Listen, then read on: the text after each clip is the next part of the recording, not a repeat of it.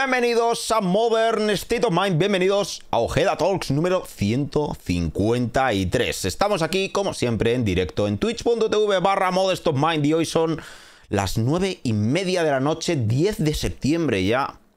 Y se acabó, me jubilé.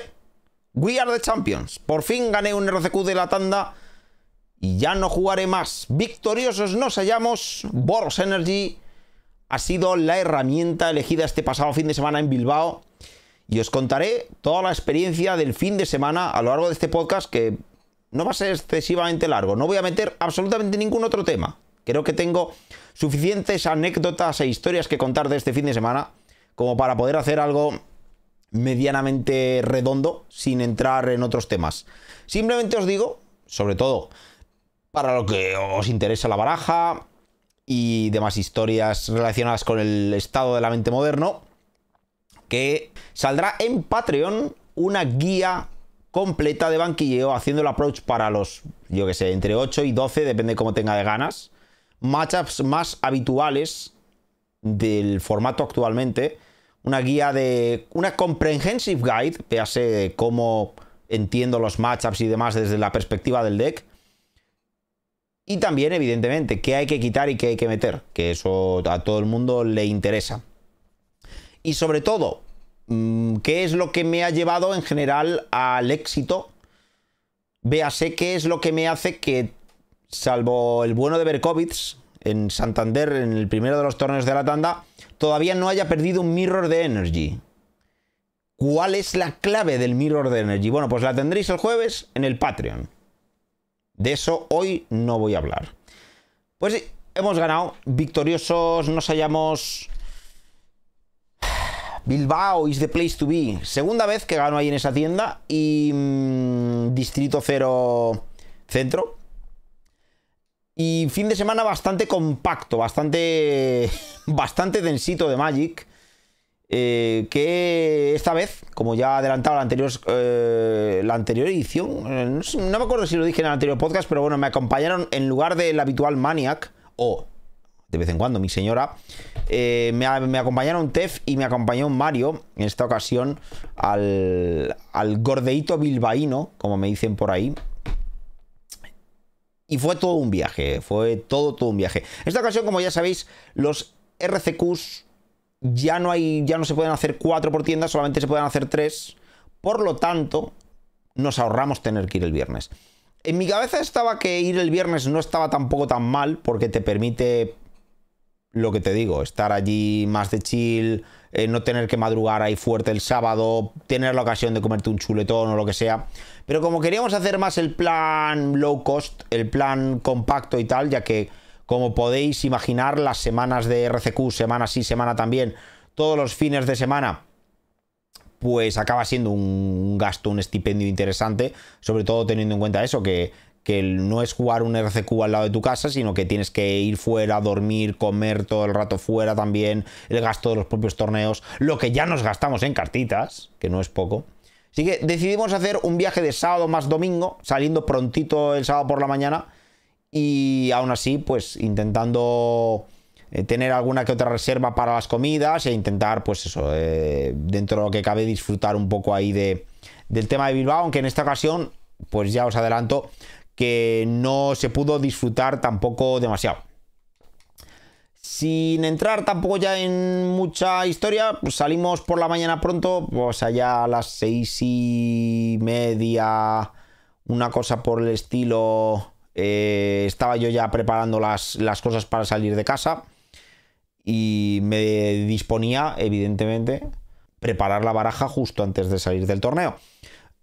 Para este fin de semana yo lo tenía bastante claro y de hecho mmm, creo que a día de hoy, salvo que queráis jugar el Dracis o Energy, igual cabe la posibilidad de que jugar azul negro ranas o Sky Energy pueda ser una opción. No, no, hablo de la Sky Energy de los Mockingbird, sino de la Sky Energy Control.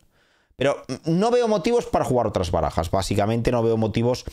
Si eres muy bueno jugando Ruby Storm, si tienes, si tienes algún deck fetiche, tipo, pues eres muy bueno jugando Amulet, eres muy bueno jugando el deck que sea, Modern sigue siendo lo mismo de siempre. Recompensa a los maestros, recompensa a los expertos, pilotos expertos en eh, determinadas estrategias, sobre todo porque saben maximizar y saben explotar eh, de cojones el rendimiento de sus decks. Pero para todos aquellos que andamos ahí un poco que no somos expertos en ninguna baraja en particular, y sobre todo para todos aquellos que andamos saltando de mazo eh, en función un poco a, lo que nos va según nos dé el aire, ¿no? Creo que, repito, los eh, Wings Labyrinth Deck más eh, Bors barra Mardu Energy son las únicas barajas, honestamente, que recomendaría jugar eh, si lo que queréis es ganar el torneo, lo que queréis es clasificaros para Praga, que bueno, que igual no es el principal objetivo de muchos de vosotros, puede ser, y simplemente busquéis pasar un buen rato, en ese caso, pues, como siempre he dicho, jugad lo que lo que buenamente os apetezca. Así que estaba yo dándole ahí vueltillas a la cabeza y tal. Y tenía dentro de lo que cabe bastante claro que por lo menos el primer try, por facilidad, el madrugón y también la disponibilidad de tiempo de poder eh, montarme la baraja per se, iba a ser con la Energy, pero tenía ahí en mente un par de versiones de, del Dracis. La RG y el Dracis Bridge me sigue pareciendo una, una baraja interesante. Y después vi, eh, creo que se llama Iván Espinosa, ganó un RCQ 10K o algo así, un torneo muy grande que se hizo en Estados Unidos. Y me la, jugó Tron y me moló bastante. Pero ya os voy adelantando que no pude jugar la baraja. Me fui a montarla, en concreto, estas mismas 75. Me fui a montarlas al coche, ya que llegamos con un poquito de margen. Eh, pero me di cuenta de un pequeño detalle. En el transcurso de entre Modern Horizons 2 y Modern Horizons 3, véase ese lapso de 6, 9, 12 meses en los cuales pues yo me dediqué a vender gran parte del pool de cartas en vistas de que Modern Horizons 3 iba a hacer que rotara el formato. Pero no os preocupéis, ¿eh? que Modern Horizons 3 es una, es una edición que es malísima y que no vale para nada y que no... Que no, ¿eh? O sea, no va a cambiar para nada el Modern, son cartas todas de Commander y no hay ninguna carta buena, nada, no os preocupéis, ¿eh? Modern Horizons 3 igual que sucedió con el 2 o con el 1, no tuvieron apenas impacto en el formato, así que nada, eh, los que, eh, repito, los que estuvieran por aquí, pues ya se enterarían en su momento y los que no, pues, en fin, vieron cómo se les caducó media nevera en un momento.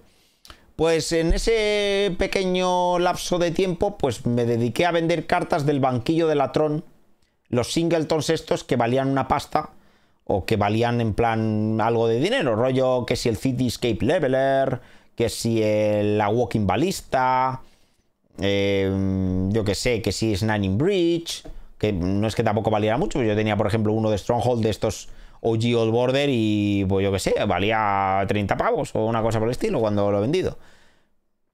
Total, que me voy a montar una Mono Green Tron y pues veo que no tengo las cartas. Veo que no tengo el, que, el, que, el, banquillo del Carn, que no lo tengo. O sea, tiene huevos que tengo mis cuatro cálices de juez preciosos y la madre que lo parió, que los lleva de base. La lista que estoy intentando cargar y que los que estéis aquí en directo eh, habréis visto que no está cargando, desconozco el motivo, pero bueno.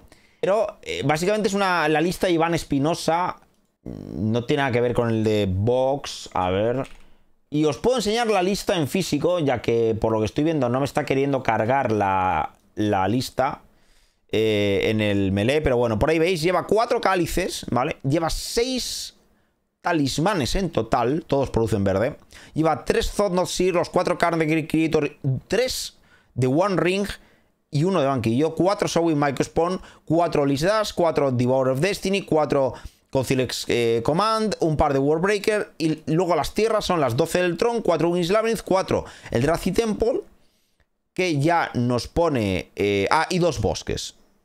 Nos metemos en 22 lands con, las, las, 8 obligatorias y un par de básicas.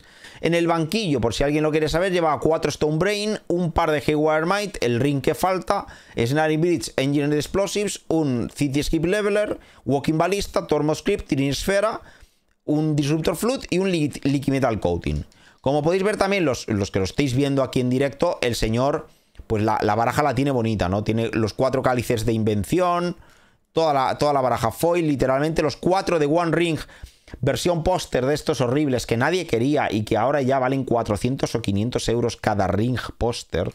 ¿vale? Me arrepiento mucho de haber utilizado mi criterio eh, de gusto personal eh, a la hora de elegir los rings, porque no... La verdad es que cuando yo me he comprado los rings Surge, los Surge Foil, los de póster valían un poquito más. No valían prácticamente nada más. Pero en vez de utilizar mi criterio de finanzas, pues utilicé mi criterio de joder, pues es que a mí personalmente estos me parecen feos. Y cometí un error bastante grave, ya que el precio de... Si bien el de los Surge ha duplicado, el de, mm, el de los anillos estos pues se ha triplicado o más y valen un verdadero dineral. Pero bueno, esa es la lista de Tron que yo quería haber jugado. Con esto me hubiese jugado uno de los RCQs o dos muy tranquilamente, mm, sin miedo al éxito. Pero la realidad es que al final acabé jugando Boros Energy. La lista de main deck cambió ligeramente a lo largo de los días, mm, pero os voy contando un poco mi parecer en general.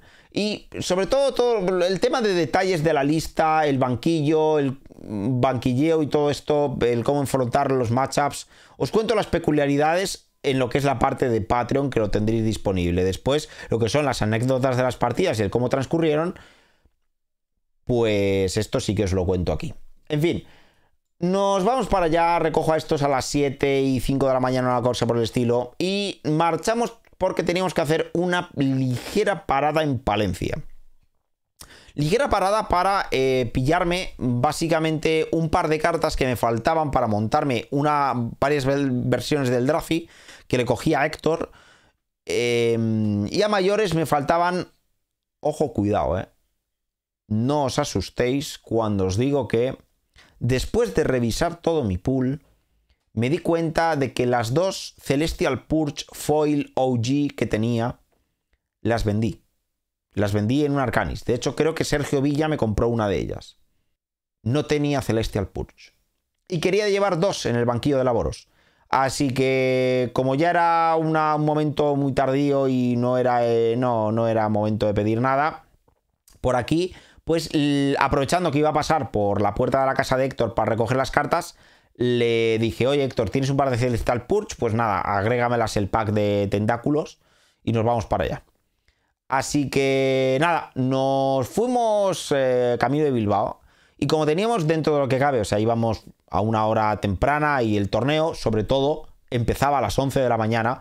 Cosa muy interesante, lo de que comiencen los RCQs estos a las 11 de la mañana, para la gente que va de fuera es un plus porque te permite viajar en el día. Pero luego a nivel logístico, como que se te descuadran un poco con la comida. Porque en concreto el primero de los RCQs, que era de, de 6 rondas, comenzando a las 11 de la mañana, pues que al final estás, estás un poco jodido. O sea, la verdad es que lo de, lo de que los RCQ empiecen a las 11 de la mañana es un poco... Tiene parte buena, parte mala. A mí personalmente, yendo desde Valladolid, pues me permite viajar en el día, porque si fueran a las 9 de la mañana, a las 9 y media de la mañana o algo así, eh, evidentemente ya era demasiado calentada. O sea, el rollo salía a las 5 de la mañana para... es un palizón. Y luego también tienen el tema de que si tú empiezas un RCQ después del suizo del primero, el segundo RCQ se te va también un poco tarde. Aunque diré después, como, como podéis ver, que no acabó especialmente tarde, el RCQ de la tarde. Bueno, pues nada, mm, total, que como íbamos medianamente bien de tiempo, pues no fuimos por los peajes. O sea, fuimos por el camino que no lleva peajes. Esto incluye que nos metemos por unas carreteras un tanto sabrosas, un tanto tipo Sanabria, y pues uno de los eh, asistentes a la expedición se empezó a marear. Tef, con el zigzagueo ahí, con haciendo S, pues empezó a marear un poquito. Total, que yo a falta de 40 minutos o algo así para, para llegar a Bilbao, me empecé a hacer caca, gente. O sea, era ya... Me, empecé a hacer bastante caca. O sea, mi, mi tránsito intestinal ya iba diciendo, oye, a esta hora eh, deberías de estar ya desalojando. Eh, ¿Qué cojones estás haciendo? Que encima me estás meneando aquí haciendo S. Y claro, llegó un momento del viaje en el que ahí, pues Tef se empezaba a encontrar mal. Entonces había que bajar la ventanilla. Empezó a dar el aire fresco. Y claro, ¿qué pasó? Pues que el aire frío que entraba de la ventanilla no era precisamente lo que necesitaba en mi tracto intestinal para eh, contener eh, al bicho dentro, ¿no? O sea, eh, todo mal, gente, todo mal. Era una situación un poco incómoda en la cual, pues eso, nos quedaban 30 minutos y no había manera de llegar. Bueno, pues llegando ya a Bilbao, yo voy con GPS a todos los lados, ¿vale? Pero en concreto cuando voy a otro, cuando en plan, cuando voy a un sitio relativamente cerca o tal, pues pongo el, Apple Maps. Pero cuando voy por carretera y todo eso, pongo el WACE. El WACE es un GPS, es el GPS de los que quieren llegar pronto. Véase, es un GPS que con tal de ahorrarte dos minutos, te mete por eh, la mitad de una carretera llena de cabras, con piedras, con árboles por el camino, en plan 12 mil millones de S, da igual. O sea, el trayecto da lo mismo, lo importante es llegar pronto. Bueno, pues ese es el GPS que puse para ir. Y el problema que tiene es que indicar... Indica regulinchi. Indica un poco mal. Y llegando a Bilbao, pues había como varias bifurcaciones y tomé la que no era. Total, que a la ya angustiosa situación de que quedaban como 6 o 7 minutos para llegar a la puerta de la tienda, se incrementó la duración del trayecto en otros 7 u 8 minutos porque tomé el desvío que no era. Imaginaros el escalofrío, el sudor frío que recorrió toda mi columna vertebral al ver que el GPS aumentó otros 7 u 8 minutos, ya en plan con la tortuguita asomando. Era en plan como...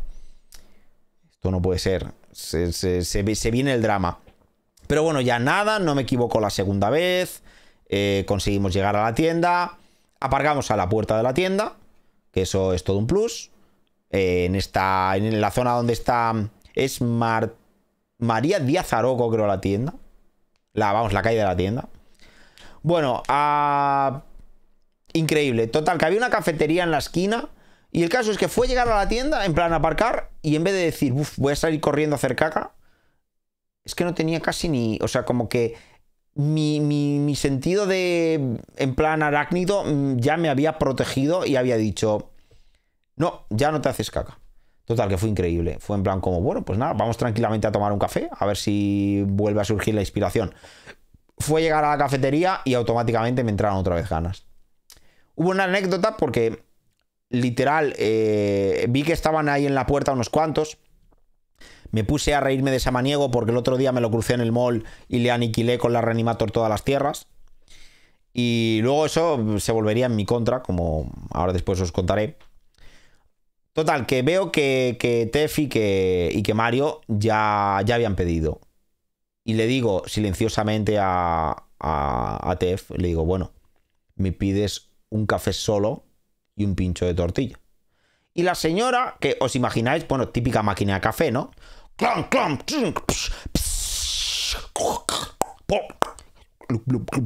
Bueno, pues la señora me escuchó. Se dio la vuelta, como si fuera ahí un relámpago, y me dijo: ¿Es que no sabes pedir tú? Y le dije yo: ¡Señora! Disculpe, que estaba usted ocupada. Digo yo, ya que estaban estos chicos aquí, yo me estoy cagando, pues les dejo que pidan ellos y yo me voy al baño.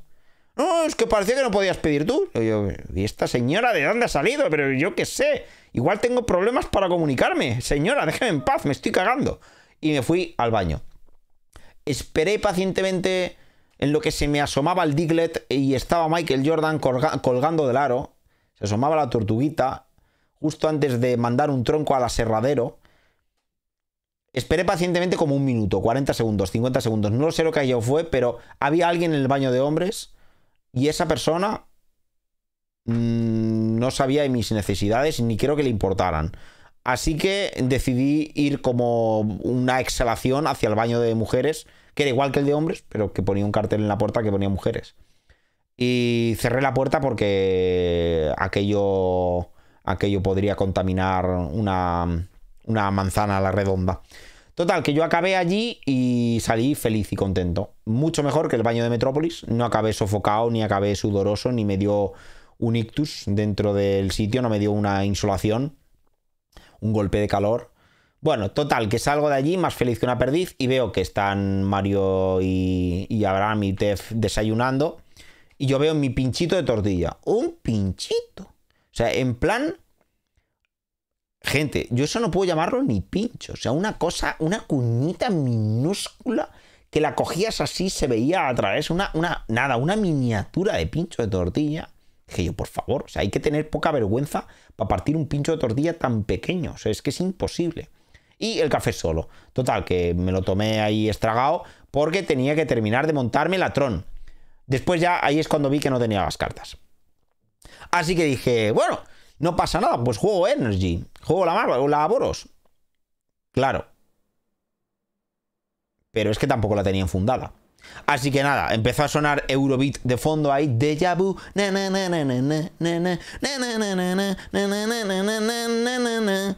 Y pues me puse ahí a enfundar la, baraja súper rápido. Me acordé también de que tenía que escribir la lista. Me puse a escribir la lista súper rápido. Caligrafía digna de Egipto. O sea, en plan... Debo reconocer que la lista del primer torneo la escribí suficientemente mal como para que me diera vergüenza reconocer que era mi lista, lo primero, y como para que si hay una persona que se quiere empeñar en ponerme un game loss, me lo pudiera haber puesto, simplemente porque lo mismo yo no entendía ni lo que había puesto. O sea, si tenía que poner, por ejemplo, Ragavan, pues era en plan, ponía eh, ibuprofeno 300 miligramos. O sea, era una cosa, una lista nefasta, ¿eh? En plan, como voy a garantizar que los números están bien y voy a escribir el nombre de la carta de una manera que parezca aquí letra de médico, porque es que no tengo nada más que un minuto. Es más, cuando dieron ronda, estaba yo en el coche enfrente de la tienda, terminando, ya justo metiendo las cosas dentro de la mochila para salir corriendo. Y, y nada, total, que terminé de escribir la. Terminé de escribir la lista y el boli con el que escribí la lista lo tiré allí en cualquier lado y se me quedó en el, en el coche el boli. Total, que voy y en primera ronda ya tal, miro y no tengo boli para apuntar las vidas. vaya drama. Total, que al final me toca apuntar las vidas con un Sharpie de estos gordos. Por cierto, muchas gracias, primer oponente del fin de semana, eh, Diego Fradejas, Fra del Rock, para los que juegan por Magic Online. Muchas gracias por la paciencia que tú. Ya que no me acordaba de que había que poner lo de la hora, lo de la OTA, allí en Bilbao. Lo de la OTA, gente. OTA que no ETA. No es lo mismo. Cojo y pues nada, no soy capaz de ponerlo. Intento pagar con la aplicación de la OTA lo de la mierda esa y, no me deja. Te da la opción de pagar con tarjeta o con Bizum. Total, que lo de la tarjeta no iba a andar sacando la cartera y lo del Bizum, pues no me llegaba la notificación al Bizum y no podía pagar. Y pasaban los minutos y yo me angustiaba. Y me angustiaba y me angustiaba. Total, que le pedimos un poco de tiempo extra al juez, nos dio tres minutos para poder pagar la hora, no fui capaz. Estuve jugando todo el G1, literalmente, que conseguí ganar porque mi oponente, pues su baraja no quiso funcionar de ninguna de las maneras. Y, mm, y entre medias del G1 y el G2, pues conseguí pagar ya lo de la OTA. Encima me dicen, no, es que no es que vaya una persona revisando si has pagado o no. Es que pasa un coche revisando las matrículas, en plan Cyberpunk 2077, y si no has pagado te multan. Y yo pensando, claro, pero ese mecanismo no tiene en cuenta que según te has bajado del coche puedes estar dirigiéndote a la máquina que está en la otra esquina de la calle.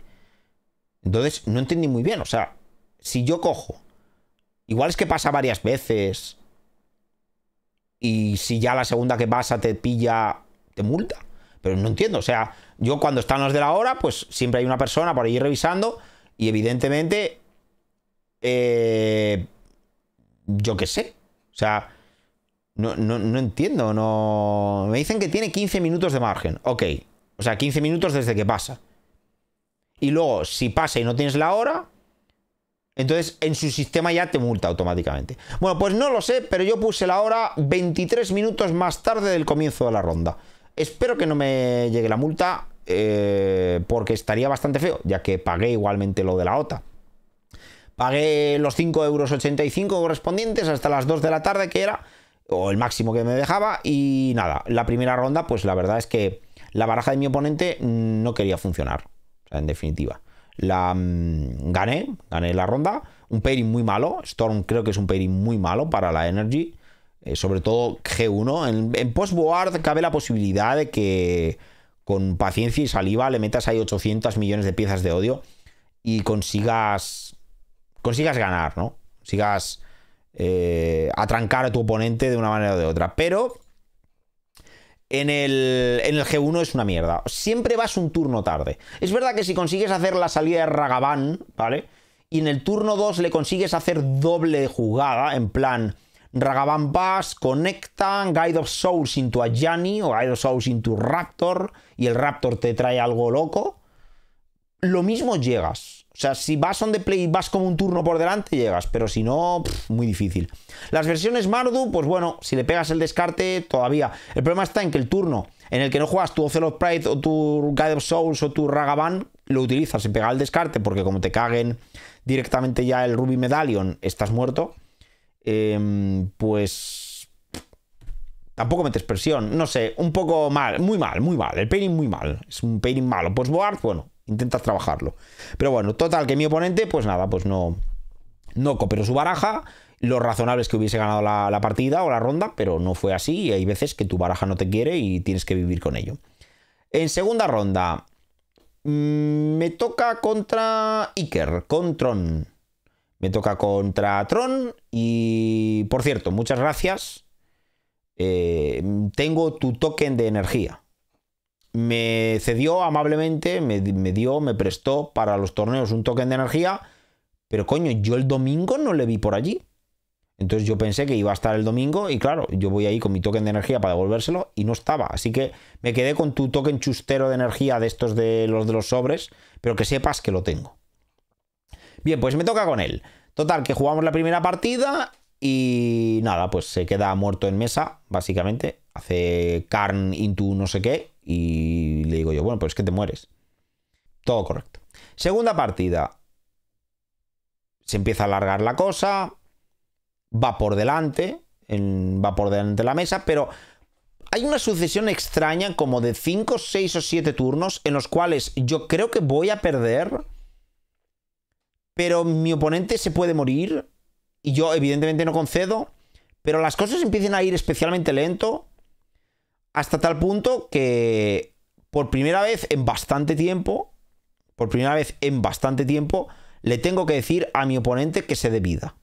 Esto normalmente ya no pasa. Antes sí que decía bastante habitualmente, cuando notaba ya un patrón de repetición de un par de ocasiones o tres de que había algo que iba especialmente lento, ya llamaba la atención. Ahora como que voy más de chill. Yo normalmente tampoco suelo necesitar excesivamente el tiempo en, las rondas y, no, tengo, no tengo problema por apretar y jugar a una velocidad rápida. Pero literal, la, situación fue algo así como que yo me robé cuatro tierras consecutivas y mi oponente no me quería pegar con sus Devourer of Destiny. Y total, que me quedaba ahí un poco atascado. Bueno, no, lo de los Devourers fue en el. No, sí, sí, fue en esa ronda también. Vamos en la partida. Cuando le doy a cortar a mi oponente, en vez de cortar, que es totalmente legítimo, legal y razonable, se puso a barajar. Pero se puso a barajar como si quisiera literalmente alcanzar una secuencia perfecta de colocación de las cartas de la biblioteca. Hasta tal punto que le dije, oye, mira, quedan 7 minutos para que acabe la ronda, voy 1-0 ganando, esta la voy a perder y te me pegas un minuto y medio cada vez que me barajas el deck, bro. O sea, literalmente. Que yo entiendo, hay mucha gente que cuando al comienzo de la partida se presenta la baraja, te cortan. Y cuando tú, yo, ¿eh? cuando cojo el deck y pego unas barajadas, hay dos, dos opciones. La primera, que mi oponente diga, ok, vale, ya está. Y la segunda es que después de haber presentado mi baraja y haber cortado, cojan mi baraja en plan como en venganza y diga, que me barajas la baraja, que no te fías de mí, pues te barajo yo también. Pues enhorabuena, tenéis que hacerlo siempre. Cortar la baraja cuando te la presentan así de cero, a mí no me resulta suficiente. Yo le pego 3, 4, 5 barajadas al otro y se la dejo. Pero no. Aquí mi oponente se tomó la licencia de croupier profesional. Y cada vez, literalmente, que había una barajada, y encima él jugaba Tron, 800 millones de shufflings. Y ya, la verdad, se me, empezó a hinchar la vena de la frente y fue en plan como, colega, eh, juega por favor, que es que no acabamos. O sea, no acabamos. No, o sea, no te lo tomes a mal, pero es que no acabamos la partida. Y pum, me estampa. Vamos al G3 con 5 minutos. Pues nada, jugando a toda hostia. ¿Y qué pasó? Que llegó el turno crucial en el cual él le sale la eh, Sota, Caballo y Rey, me hace Torra, Torre, Mina, Power Plant, Olis Dash, no sé qué. Bueno, el Olis Dash no lo tuvo, pero me hace las, me hizo Devourer al 3, me hace Devourer al 4, todo perfecto. Y claro, yo por allí ya no paso ni a tiros. Nos cantan turnos y el turno definitivo en el que él yo le digo, bueno, me haces un list Dust y me muero. O sea, quiero decir, mis permanentes todos se morían. Él tiene para poder pegarme 2-12. Yo estoy en 12 clavados. Y pues sucedieron una serie de cosas catastróficas en las cuales él robó con un anillo, se pegó un Cocirex Command a sí mismo, hizo no sé cuántas millones de cosas. Total, para al final no matarme. Y claro, le dijeron por detrás, oye, que es que tienes un Karn, le haces la balista y le matas. Vamos, le quitas los dos bloques o le quitas los tres blockers con la balista, le pegas de 12 y le matas. Y el otro chico, no, me cago en la puta, tal, no sé qué. Claro, quizá yo de tanto decirle que con Oris Dash me ganaba, él se pegó 8 mil millones de. viró todas las posibilidades habidas y por haber para ver si robaba un Oris Dash cuando lo mismo en su baraja no sé cuántos tendría, pero el Karn a la balista le valía para barrerme la mesa y pegarme de 12. Al final, el hecho de haberse tomado eh, en plan 3 o 4 minutos barajando en el G2 le sirvió para no ganarme el G3. Es el resumen. Así que, gente, por favor, cuando... Cuando las partidas van rápido, cuando está surgiendo, yo no lo digo ni muchísimo menos a malas, porque el pobre chico, pues demasiado, ¿sabes? O sea, quiero decir, eh, me, deja el token de energía, un tío súper majo, me da un bomboncito de cheesecake. O sea, quiero decir, ¿qué puedo decir malo de él? Nada. Pero, consejo, y es que me dijeron sus colegas, no, es que pasa siempre. Yo dije, joder, pero decírselo. O sea, si en la partida queda poco tiempo, tu oponente no va a tener tiempo a hacer trampas tampoco. Garantízate que le cortas la baraja para que si se la pone arriba no te estafe, ¿sabes? No, te la cuele. Pero, bro, no, le pegues ahí el shuffling como si fueras me cago en Dios aquí, ¿sabes? Eh, por favor, o sea, agiliza la partida. No, no te atranques ahí barajando la baraja del otro 50 minutos, porque no adelanta nada que tú en el G1, en el G2 y en el G3, antes de que tu oponente coja el deck, se lo barajas 4, 5 o 17 veces, perfecto. Se lo puedes barajar. Que tú mismo te gusta pegarle unas barajadas fuertes ahí a tu deck y tal, perfecto. Pero cojones, o sea, se supone que estás intentando evitar que te hagan trampas, pero lo que no te estás dando... O sea, igual es que estaba pensando la jugada en lo que me barajaba el deck y por eso se le fue la cabeza, pero no sé, fue una cosa un poco tal que luego se volvió en su contra. Así que empato la segunda ronda con Boros Energy, eh, empatando en segunda ronda. Jesús, María y José. Me toca en tercera ronda contra Tweedle Storm, que me. Perdone mi oponente, no me acuerdo cómo se llama.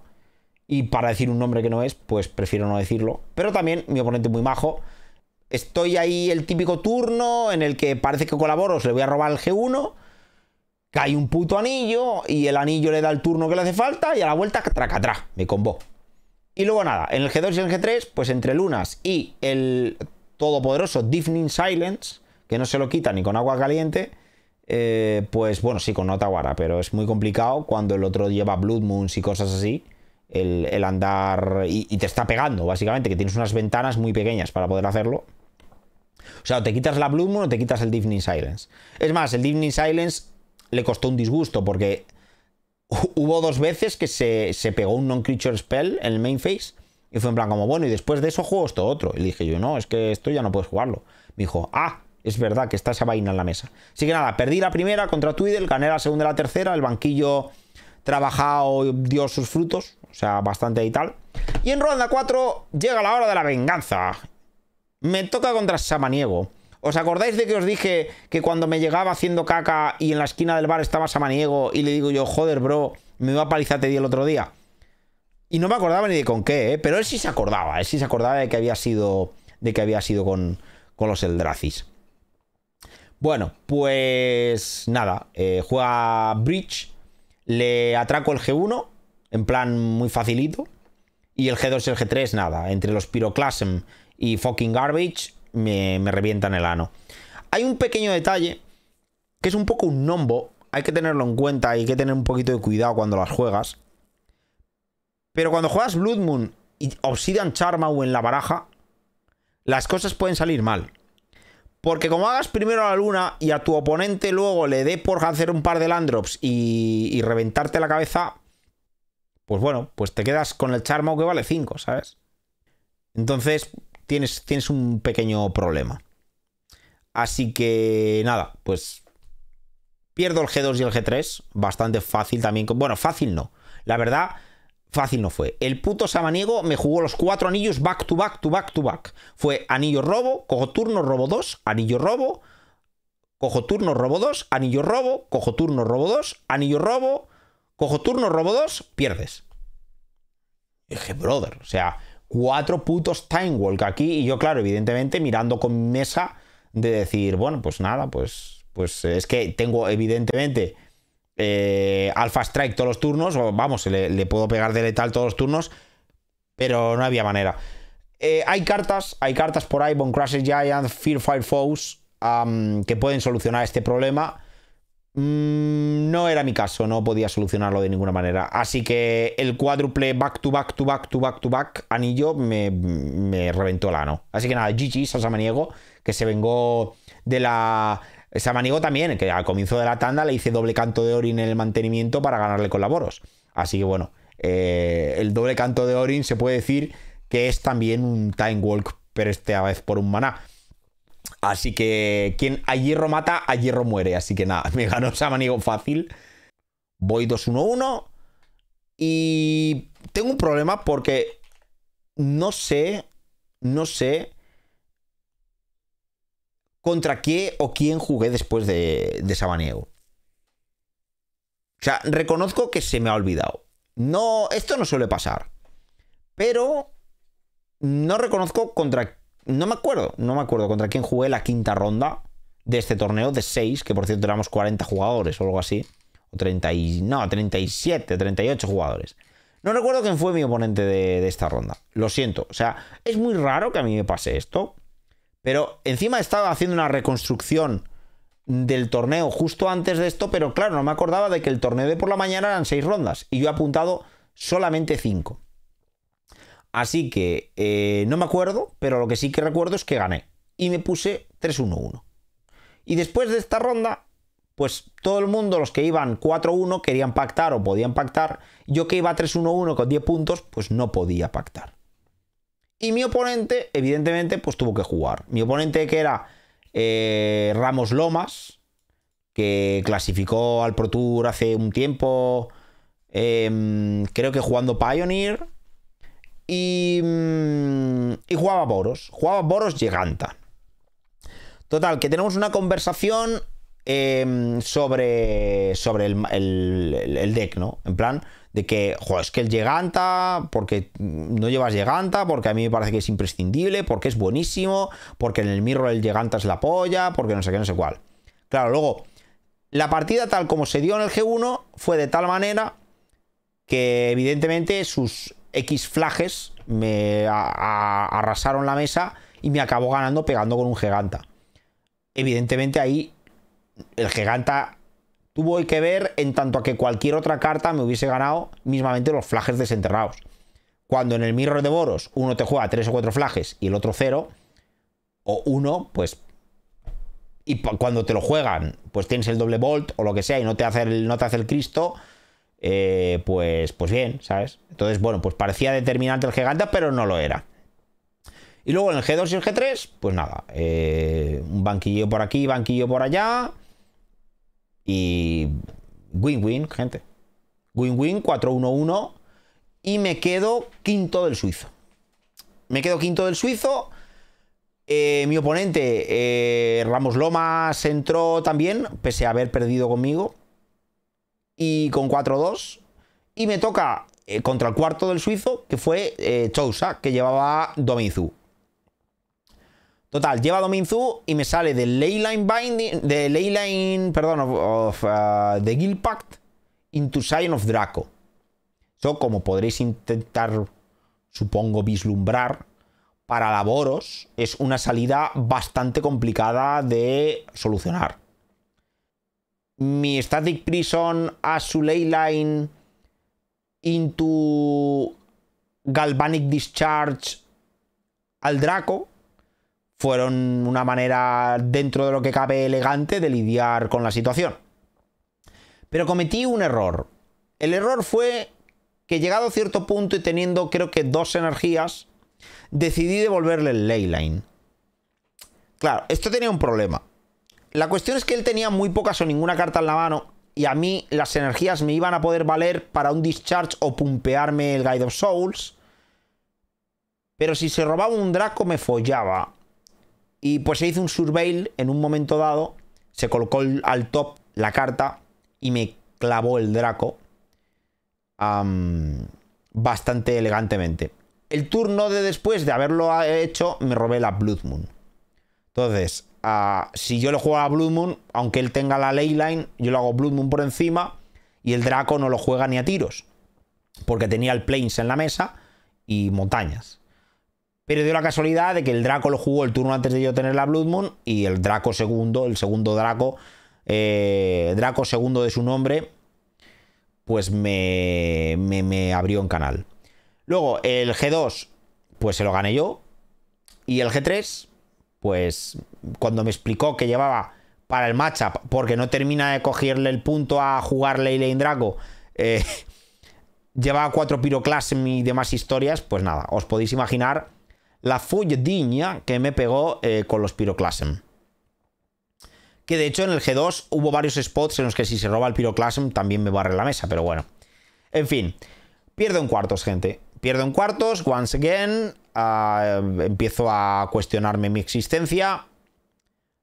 Y le quedan 10 minutos a la ronda número 1 del segundo RCQ. Total, que yo ya lo tenía pagado, porque ya pagué los tres seguidos, pagué los tres RCQs. Y dije, nada, voy a pedir que me devuelvan el dinero, tal. Y de esto que dice Lamas, los que habéis perdido en el top 8, Don Pit top 8. Si queréis, os podéis apuntar al RCQ de la tarde con la primera perdida.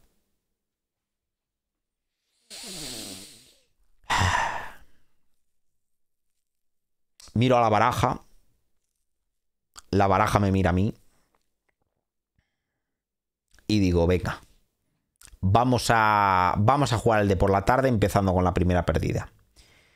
¿Cuántas rondas son? Son cinco. Vale. Entonces, si gano 3, puedo pactar. Así que bueno, solo tengo que hacerme un 3-0. Pues nada, cambio tres cartas del banquillo para garantizarme que en caso de que Samaniego me haga back to back to back to back anillos no pierda. Ve así, me, metí un buen crash de banquillo y ya, es lo que hice. Y me apunto al segundo RCQ. Total, que empiezo 0-1 y según le pregunto qué tal va Mario, Mario va 1-0 con las ranas. Eh, le pregunto a, Abraham qué tal va. Me dice va 0-1 con la, con la Mardu. Bueno. Pues sí, gente. Primera ronda, véase segunda ronda. Me toca contra Abraham. Me toca contra Tef. Se me acerca, me enseña el móvil, me dice... Yo, vale, pues muy bien. O sea, acabo de palmar en un RCQ, en el top 4, en el top 8, y me meto al segundo RCQ para empezar 0-1 y que me toque con mi colega en segunda ronda. Perfecto. Un plan sin fisuras. Bueno, pues nada, él jugó Mardu. Yo jugaba Laboros, tal cual, porque no tenía tiempo de cambiar nada más que ya dije. Cambié tres cartas en el iPhone en total. Y pues nada, eh, básicamente intentando en el G1 acompasar bien mis cartas para que sus Bowmaster no fueran especialmente buenos. Tuve una salida bastante premium. Em, si no recuerdo mal, Ragavan de play le robó un Bowmaster. Bueno, fue un poco. Fue, fue o sea, le estampé un poco. Y en el segundo game me hizo Guide of Souls. ¿Sí? Guide of Souls, Guide of Souls. Yo le maté el primero en respuesta al segundo Guide of Souls. Cuando iba a bajar el tercero, yo no sabía que lo tenía. Y después me hizo Guide of Souls algo. Y yo le pegué, quiso pumpear con la energía a uno de los Guide of Souls, le maté el segundo.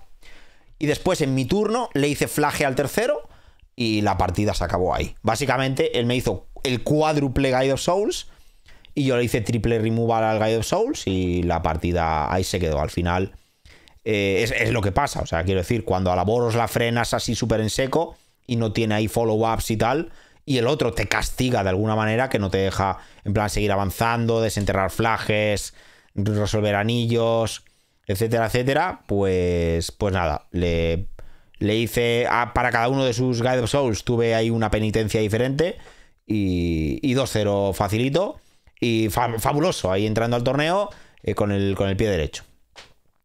En siguiente ronda me toca contra Íñigo Vallejo. Me toca contra Gorios Reanimator. La verdad es que yo dije, bueno, a ver, la Gorios no es buen pairing, pero es verdad que sin el Griff pierde mucho. Y en efecto, sí que pierde, sí. La baraja, la verdad, me parece un poco una mierda. No voy a decir lo contrario. Me desilusiona bastante porque los play patterns del Griff me parecían interesantes dentro de ese deck, pero la baraja es un poco pocha. Es un. Sé que inconsistente. Te arrollan fácil muchos otros decks. Tu plan ya no es tan infalible. Tus pairing buenos ya no son ni siquiera buenos. No sé, es que es un poco. Las energías te estampan, las barajas de control ya no les puedes meter mano. Los Eldrazi, como te descuides un poco, te pisan el cuello. O sea, al final la, la se ha quedado, pues nada, para coger y hacer un triple con ella en la basura. Pero bueno, en el G1, pues nada, eh, se queda ahí un poquito Stumble. Lo típico de que hace el Falagi, pero no tiene tocino en el cementerio. Y nada. Y yo le mato de nuevo el Falagi, porque os recuerdo que el Falagi hay que matarlo, porque si no te la lían. Y le empecé a pegar con mis bichos. Y mis bichos le acaban ganando, pues pegando de una manera bastante cómica. En el segundo game se queda ahí un poco una mano cuestionable, vamos a decir, pero bueno, es una mano a 6 on the play, en la que sale de Overground Tomb. Yo, cuando, cuando el de la Reanimator te sale de Overground Tomb, sabes que muy bien, muy bien, muy bien no le va. No, no, no llegaba. O sea, de hecho se mileó una básica que luego la necesitaba para no perder más vidas. En plan, estabilizó, me tiró la ira, pero me tira la ira cuando está a dos vidas o algo así. O sea que Literalmente le, estornudo y se muere. Así que la historia de la Reanimator es, triste, es triste, pero cierta. Y es que, ahora mismo pues está un poco. Un poco F. Así que nada, bueno, pues gano a. Gano a Íñigo. Eh, me pongo 2-1. Siguiente ronda. Me toca contra Monogrintron. Un chaval que, al que Lamas le había dejado la baraja. Y que. Que hacía que no jugaba la hostia, me dijo. En plan, la hostia. Bien, vale. Total que en la primera partida él hace sus cosas, yo hago las mías, no termina de ensamblar el tron, yo le sigo pegando. Y hay un turno en el que, bueno, pues hace un anillo, tiene un fog, yo relleno la mesa, le doy turno. Y él decide hacer una jugada. Mm, que, no recuerdo si fue Snaring. Carn Snaring Bridge o. No sé si intentó jugar un bicho y un, un ojo pecho, no sé qué. Total, que le pegué y se murió. En plan de que se quedó muerto en mesa. Y en el segundo game, pues se dio un mulligan bastante duro. Se dio un mulligan, si no me equivoco, a 5. Me hace tierra el trombas. Yo le hago Sacred Foundry Ragavan Bass. Me hace tierra el trombas. Yo le hago te pego con el Ragavan, pongo un tesoro y por tres manas Obsidian Charma o a la torre. Pues nada, sonaban violines de fondo, gente. Yo que siempre he sido el típico que durante toda mi vida ha muerto después de hacer un Fulminator Mage al Delatron. Ha muerto aplastado como una puta rata después de haberle hecho Surgical a la pieza del Tron en lo que me casteaban los Gurkoil por 6. Bien. Pues ahora ya no es así. Como tú le hagas un Charma o al Delatron en turno 2, el, del, el no levanta cabeza. Ya te lo digo yo. Es un poco...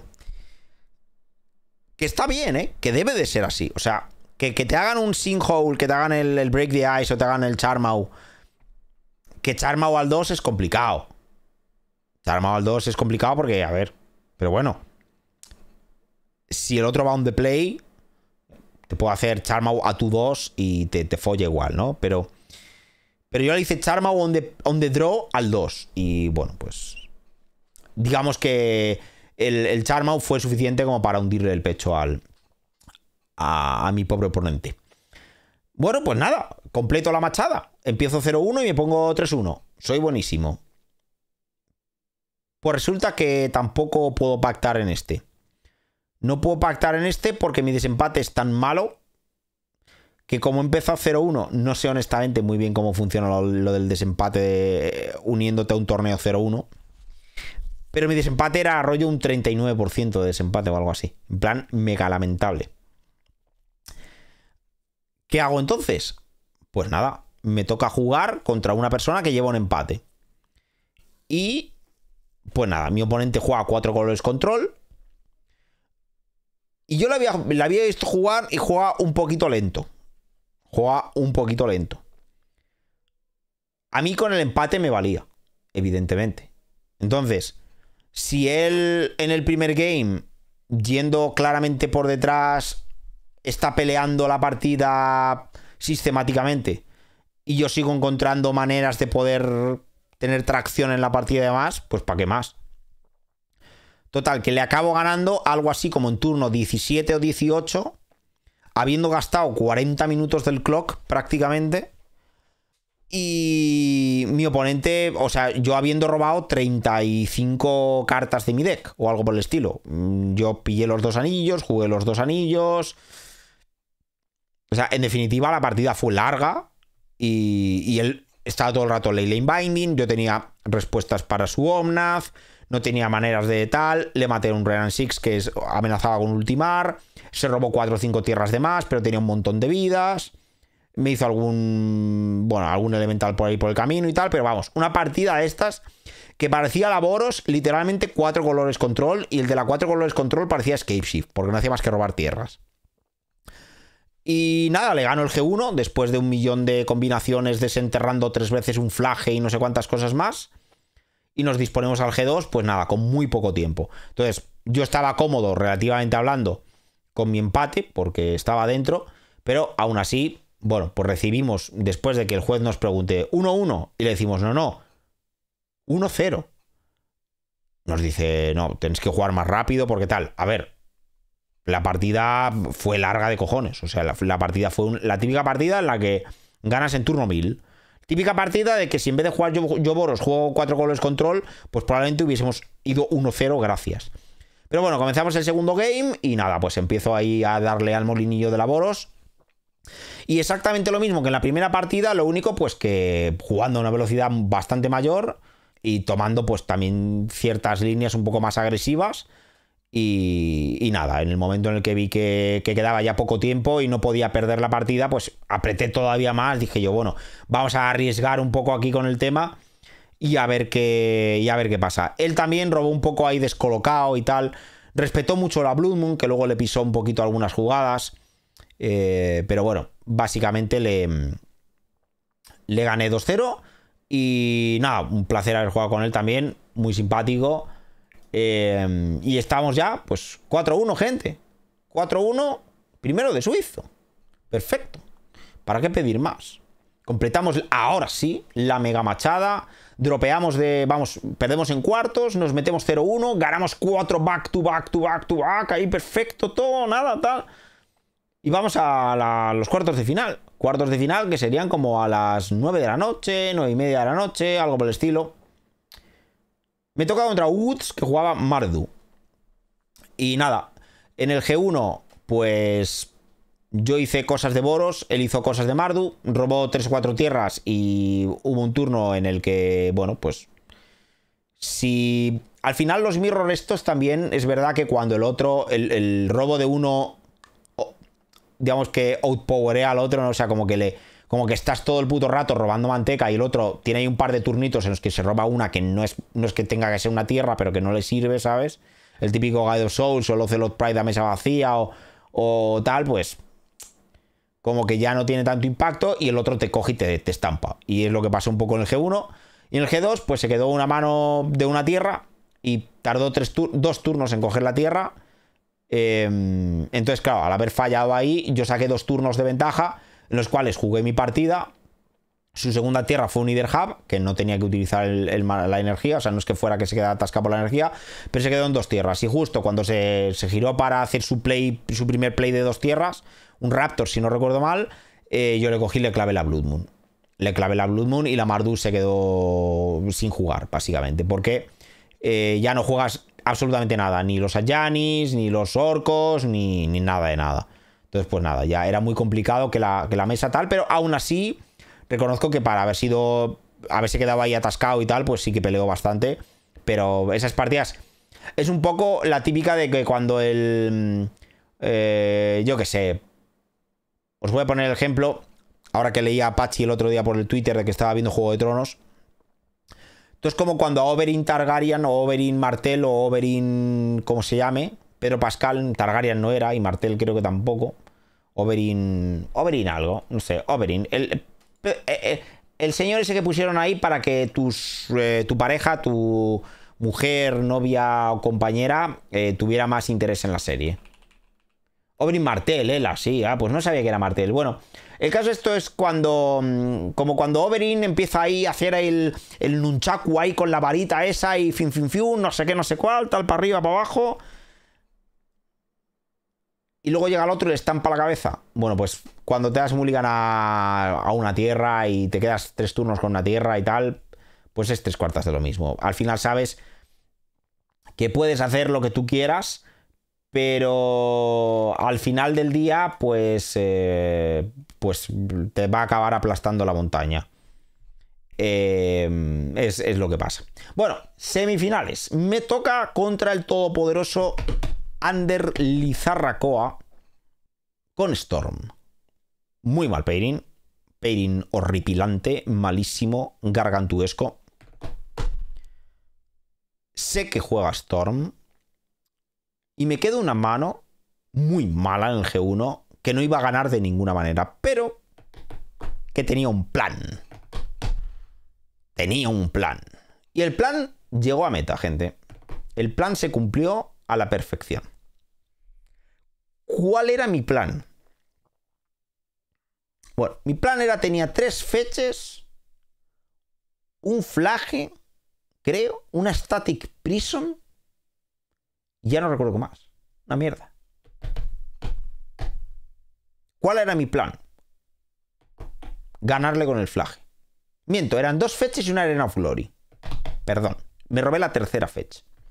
Así que hago tierra vas. Mi oponente, ok. Le hago fecha Surveil. Me tiro carta X al cementerio. Tierra vas. Ok me tiro carta X al cementerio, le hago tierra fetch fletch a la cara. Y claro, a ver, tu oponente de Boros ha hecho tierra vas, tierra vas, tierra fletch vas. ¿Vale? Y tú, como que te la suda. Yo veía. Luego él me dijo que tenía todo tierras y rituales y que no tenía ningún payoff. Porque se pegó un, para poder combarme al 3, se pegó en el 2 un Rens Resolve que le tiró tierra Pasting Flames y ya. Y, literal su mano era ritual, ritual, tierra, tierra, medallion o algo así. Entonces, si encontraba un glimpse o cualquier cosa de esas, pues ya estaba, ¿no? Pero yo robé y me robé un Raptor. Y miré las vidas. Y dije yo, vale, ¿de cuánto pega el flaje? Son 12. ¿A cuánto está? a 15. A 15 de 3 que la había hecho con el flaje y dos feches. Y dije yo, pues nada. Tengo el Arena of Glory en la mano. Puedo sacar el flaje del cementerio y quedarle a una vida. Pero yo sé que a la vuelta me comba. Y puede ser. Puede ser que no haga ni falta. No, sé si tenía el medallón en la mesa, me parece que sí. Yo, puede ser que la vida vaya a ser relevante por el RAL, pero también me puede combar sin el RAL. Y tiene la mano con siete cartas. Entonces yo tenía dos opciones. O derraparle el flaje y quedarle a uno. O jugar el Raptor y hacerme la víctima. Dicho y hecho tenía creo un, discharge en la mano. Juego el Raptor, dos energías, trigger, flage. Y yo, madre mía, soy un puto desgraciado, porque no sé qué, porque no sé cuál. Perfecto. Total, que ya dije, vale, no, perdón, le quedaba en 3, le quedaba en 3, claro, porque el pego de 12 está en 15. Estaba adelantando un turno. Y llega mi oponente y dice, se vio robar un manamorfosis o algo así, y dijo, bueno, yo qué sé, estoy en 15, tiene un raptor en la mesa, ¿qué puede salir mal? Y dice, bueno, bajo fetch y tal. Cuando bajó fetch y partió la fetch y bajó a 14, dije, ya he perdido. Ya he perdido porque si mi oponente fechea en la main phase, es para que, porque me va a jugar el ritual o lo que sea tal. Total, que después de fechear, se mira la mano y hace así. Vas. Yo dije, hostia puta, que se ha arrepentido. Pues nada, enderezo rápido como el viento, sabiendo que tengo la arena, la arena of Glory, que en mi cuarto turno no jugué a Dread, ¿eh? Para no darle la información a mi oponente y que no, me, no se tirase a combar. Porque si me comba, me acumula la Storm y literalmente tiene que hacer ya con 7, con 6 Storms del RAL, se tira una tirada, en el momento en el que acierte una de las dos primeras tiradas, automáticamente estoy fuera. Es verdad que se podía bloquear el mismo, pero eran unos chances que yo, sinceramente, veía muy malos. Así que enderezo rápido con el viento, le bajo la Arena of Glory, exerto el, el flaje, le pego, le digo, pues todo a ti. Me dice, ¿a cuánto me quedo? Yo, ¿te mueres? ¿Cómo? Pues sí, pues son 12 del flaje, son 3 y 3, 6. 6 del flaje y 2 del raptor. Y dijo, pues me muero, pues sí. Y luego estuvimos hablando de que la fecha esa que se pegó en el main face, pues fue un poco ahí un resbalón. Pero claro, también me dijo, a ver, solo tenía maná en la mano, realmente. No podía haber tomado casi ninguna opción, ¿no? Ni, no era, era un poco tirarme ahí un, yo creo que sería un manamorfosis. Tirar un manamorfosis ahí a la nada, ¿sabes? Entonces, claro, si llega a tener la mano cargada y lo único que hace es estar esperando un turno más para combar porque no se muere, y yo le pego, le pego la tracada de pegarle 12 a la cara con el flaje y matarle justo, eh, pues me dice, es que me estoy, me estoy, mm, no sé, me estoy comiendo los huevos o me estoy, me estoy, vamos, que se pega un tiro en la polla. Y nada, eh, segunda, mm, eh, segunda mm, partida contra él. Eh, mal. O sea, mal. La típica de que. Pues nada, le juegas una Dampin en turno 2. A su Ruby Medallion de turno 2. Y él en turno 3 lo primero que te hace es una Brade a la. Una Brade a la esta.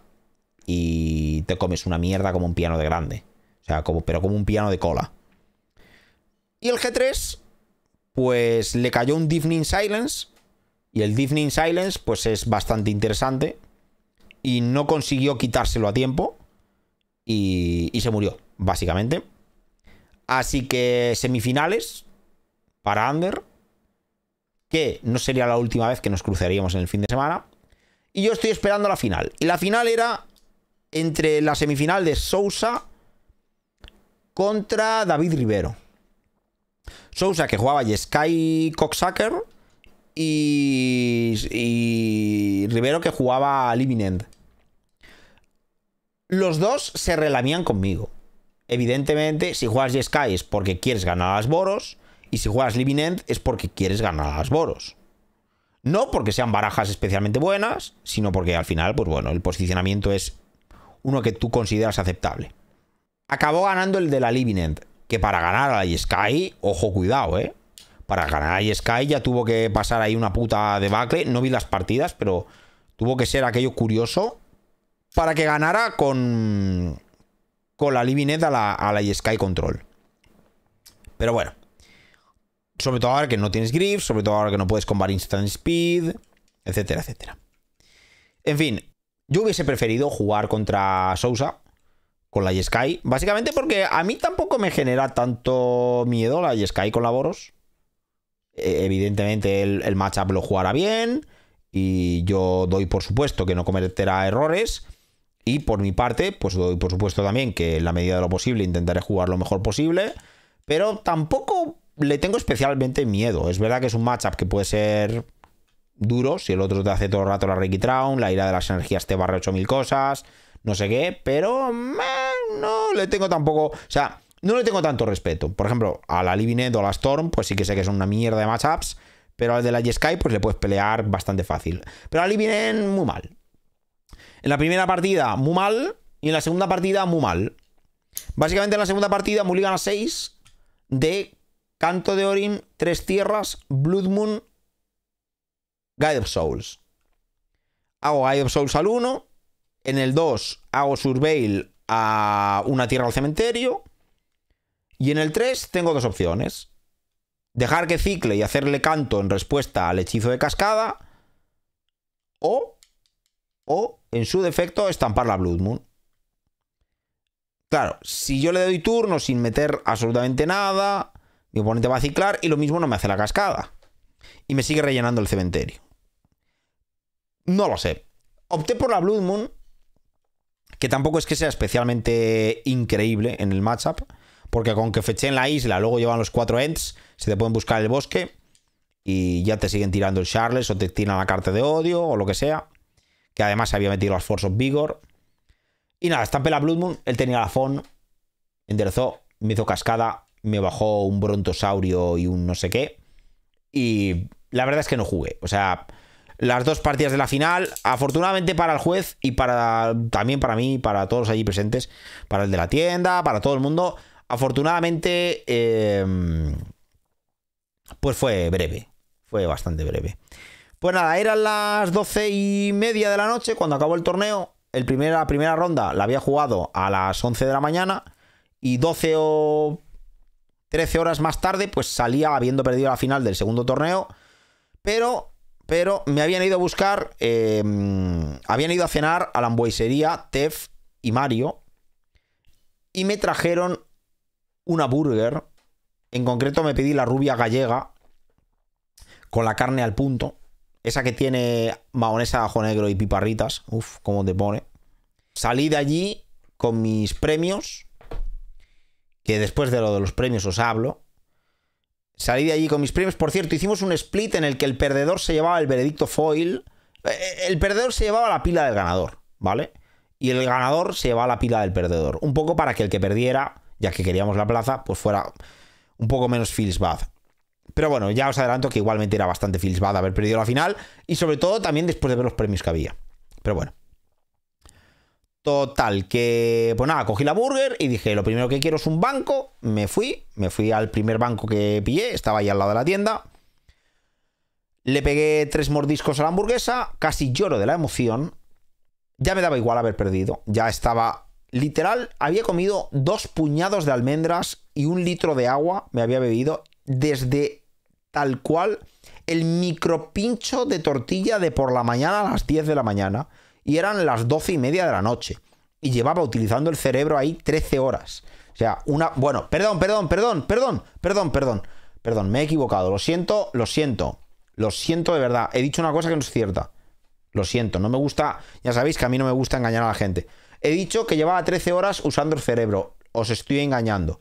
Jugué Boros, por lo tanto no he podido utilizar mi cerebro en ningún momento. Lo siento, pido, pido disculpas a cualquier jugador de Magic que se haya podido sentir ofendido al escucharme decir que por haber jugado a Boros he utilizado el cerebro. Lo siento, no volverá a pasar.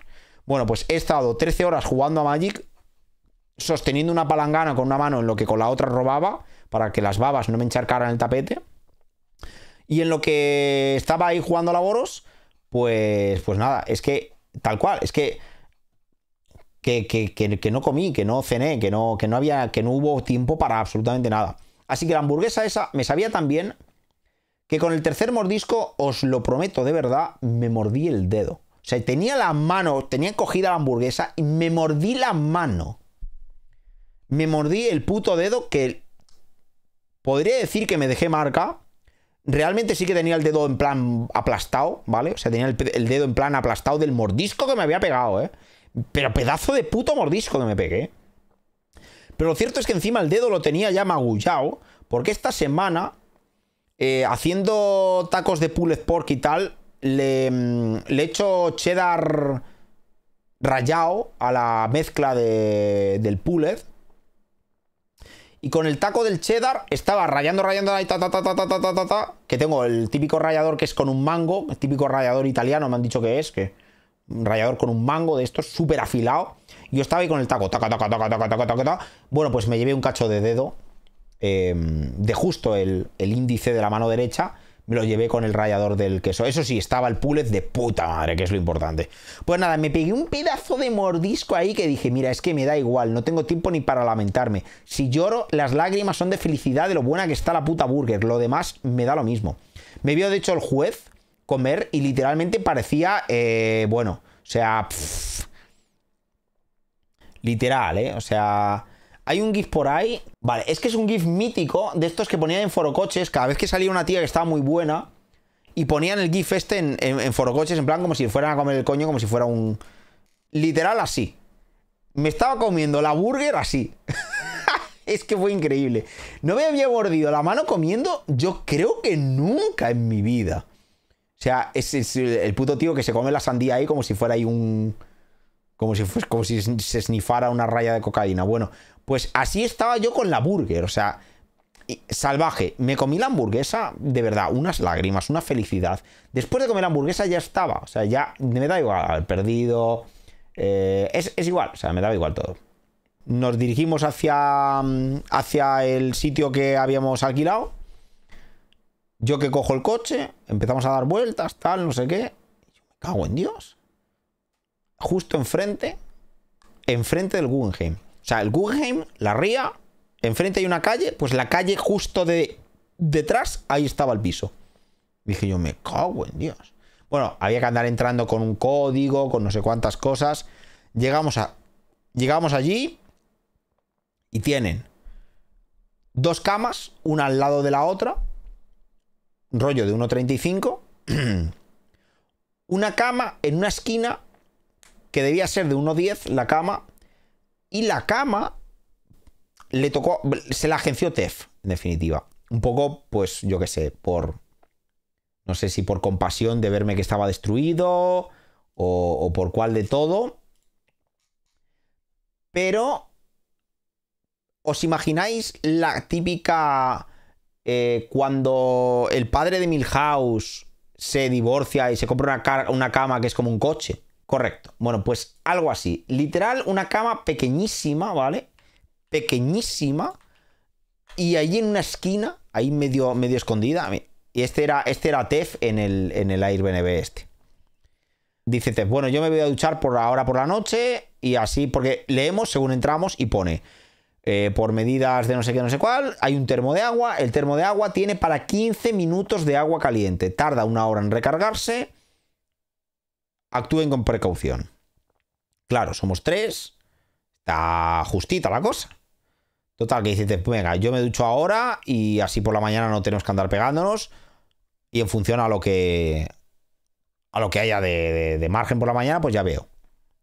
Bueno, pues nada. Entra él al baño. Entra Mario al baño. Y yo llego y me estampo en la cama. Me estampo en la cama y según me estampo en la cama como que me absorbe la cama. Típica cama que es un colchón, que es como, como plumas, que para mí, que tengo la espalda destrozada, pues me viene como el puto culo porque literalmente, pues... o sea, está... cuando tiene la espalda jodida, los colchones tienen que ser rígidos. Básicamente para que la espalda no coja la forma horrible que tenga y se te quede hecha un cromo. Bueno, pues nada, llego a mi cama, digo, vaya puta mierda, pero me quedé ahí incrustado en la cama que casi no podía ni moverme. Llega Tef, se mete ahí en su rincón, en su habitáculo, coche de carreras en la esquina y tal. Llega Mario y la cama de Mario perfecta. Mm, tiene otro colchón distinto, no está tan duro. Eh, mi cama, en cuanto me movía, sonaba como si fuera la casa de los horrores. Y yo, joder, bro. O sea, literalmente ahí medio sin moverme toda la noche porque me daba cosa hacer ruido. Eh, Mario, en plan ahí, como cayó. Luego encima, se me olvida el cargador. Y me llevo un power bank. Siempre tengo un power bank que lo llevo cargado a tope. Oye, Geda, ¿tienes para cargar el móvil? Sí, nada, toma, eh, toma el power bank. Total, que el puto Mario se queda, se pone a mirar con el móvil ahí, las bonitas chinas, el no sé qué. Que no me acuerdo ni cómo se llama. Me dijo, me dijo el nombre de la aplicación. ¿Os acordáis del Tinder? Muchos de vosotros os acordaréis del Tinder, de la aplicación esa para ligar y tal. Yo no la llegué a utilizar nunca, pero sí que troleaba a un colega que estaba en el Tinder y no hacía más que hacerle match ahí en plan de manera aleatoria. Me está ahí con la aplicación esa. ¿Cómo me dijo que se llamaba la aplicación? El Grinder. Me dijo que se llama Grinder, la aplicación que usaba para, para ligar. Bueno, pues total, está ahí el bueno de Mario con el Grinder. Y total, que mira ahí y tal. Y, y el cabrón se quedó con mi powerbank, con el teléfono enchufado. Y yo no le quise decir nada. Em, porque claro, digo, no le voy a andar despertando. Y el cabrón, y me quedé sin cargar el teléfono ni nada. Y yo, vaya cabrón, total. Llegan las seis y media de la mañana. Empieza a sonar una música como si fuera aquello George de la jungla. Y yo, what the fuck? La puta alarma de Mario, que se le ha olvidado quitar la alarma. Y yo, joder. Alarma, por cierto, que habíamos puesto a las nueve y cuarto de la mañana. La verdadera salud, tener que ir a un torneo de Magic y ponerte la alarma a las nueve y cuarto de la mañana, gente. Madre mía. Total, que nada, seis y media de la mañana, suena la alarma de Mario, nos despertamos. El tío no dice nada, al menos luego reconoció que no dijo nada por pura vergüenza, porque dijo, ya que les he despertado con la alarma, al menos no voy a decir nada de perdona chicos, no sé qué, digo, porque va a ser peor. Siete y media de la mañana.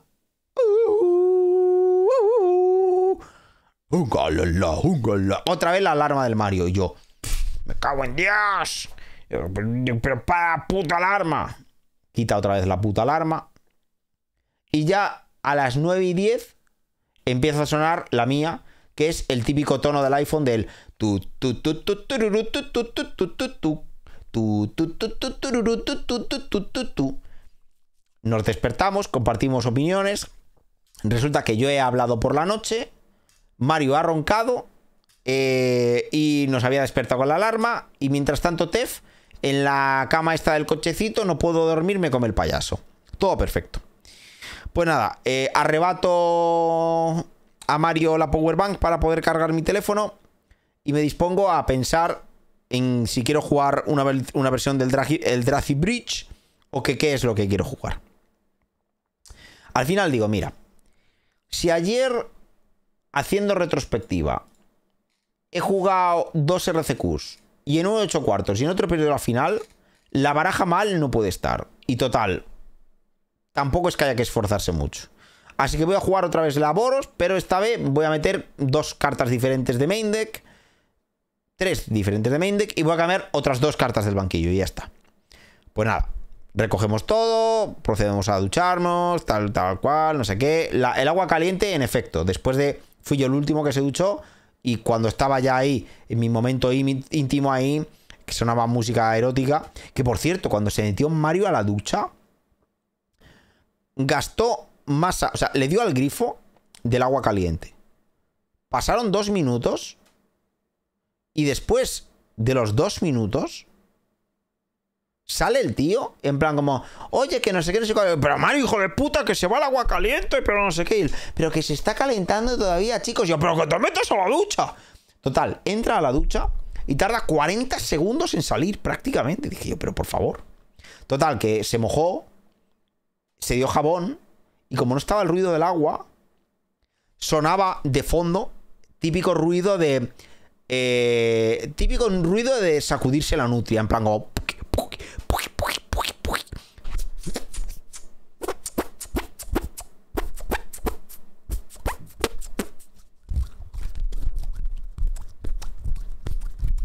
Algo así sonaba todo el rato. Y yo, tremenda deliciosa que se está haciendo el Mario ahí el Vladimir, madre mía, el puto Mario. Bueno, total, que nada, gastó más agua en calentarla que en ducharse. Entro yo y tal, no sé qué, y veo que está hay un pedazo de charco en el suelo y digo, me cago en 10. Total, que la, tenemos una puerta de la ducha, pero no cierra. No cierra porque le falta un trozo. Realmente la típica plato de ducha que está empotrado en una esquina y la parte de atrás no tiene donde, no tiene, no tiene cristal. Pues muy bien. Me ducho ahí, tal, todo de chill. Salgo y error, gente. Error. Se me olvidó echarme desodorante después de salir de la ducha. Lo cogí y lo saqué del neceser y lo metí en el bolsillo de atrás de la mochila. Lo comentaba la semana anterior. Y metí el del neceser, el, el típico desodorante este Este, este desodorante. El, el desodorante de Old Spice Captain.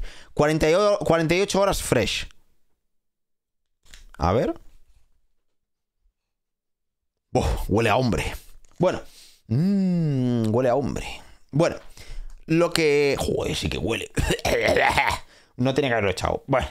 Total. Voy a ver un poco de agua. Ahora que todavía no le ha caído desodorante. Bien.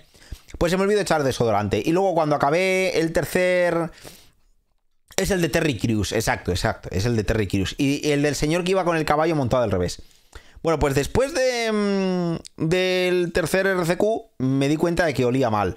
Y dije, joder, me tenía que haber echado desodorante por la mañana o a media tarde o lo que fuera. Pero bueno, en fin, lo siento por el mal olor, es lo que tiene. No era por no ducharme, era por haber estado sudando como un cerdo porque eh, en la tienda hacía, hacía calor. O sea, hacía calor ahí al fondo. No tanto como en el baño de Metrópolis, pero hacía calor. Y nada, pues procedo a jugar el último RCQ, el tercero, el último, el definitivo. Y en primera ronda me toca Ander Lizarracoa con Ruby Storm. La venganza es un plato que se sirve frío. Joder. 0-2, pero rapidito. Pim pam pum, no sé qué, bueno, Ojeda, saco los tokens para combar, para arriba, abajo, uno, otro, tal, tal, tal. Y nada, con mi poronga como un campeón. Eh, bien, bueno, pues nada. Empiezo 0-1. Eh, ya estamos acostumbrados a esto. Y ahora es cuando, como decía también la semana anterior, empieza a sonar el tema de Guile de fondo ahí.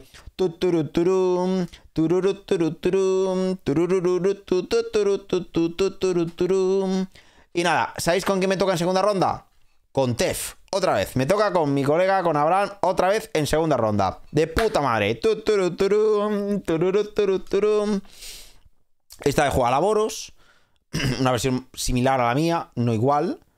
Em, y nada. La primera partida es el resumen de cómo, teniendo un 80% de posibilidades de ganar, te encargas de perder la partida. O sea, ¿cómo teniendo un... ¿Por qué esas típicas manos de póker del 97% de victoria pueden perder? Hace Raptor a anillo. Yendo súper por detrás. Dos cartas en la mano. Yo tengo mi mesa montada. Raptor a anillo. ¿Ok? Y le hago Static Prison. Perfecto.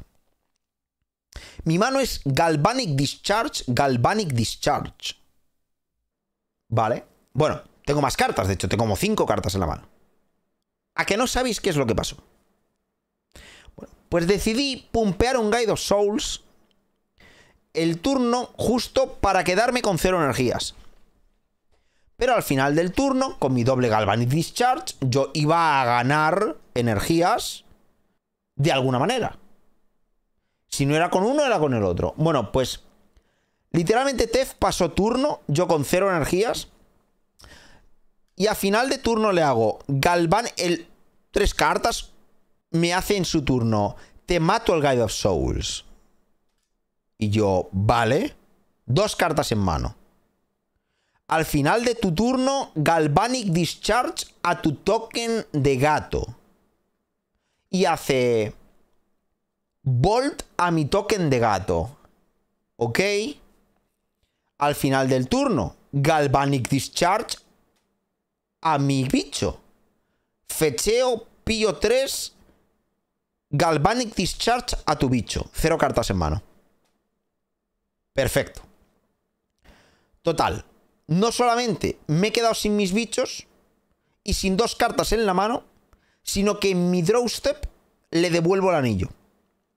Pues os podéis imaginar lo que sucede cuando uno de laboros tiene anillo y el otro no.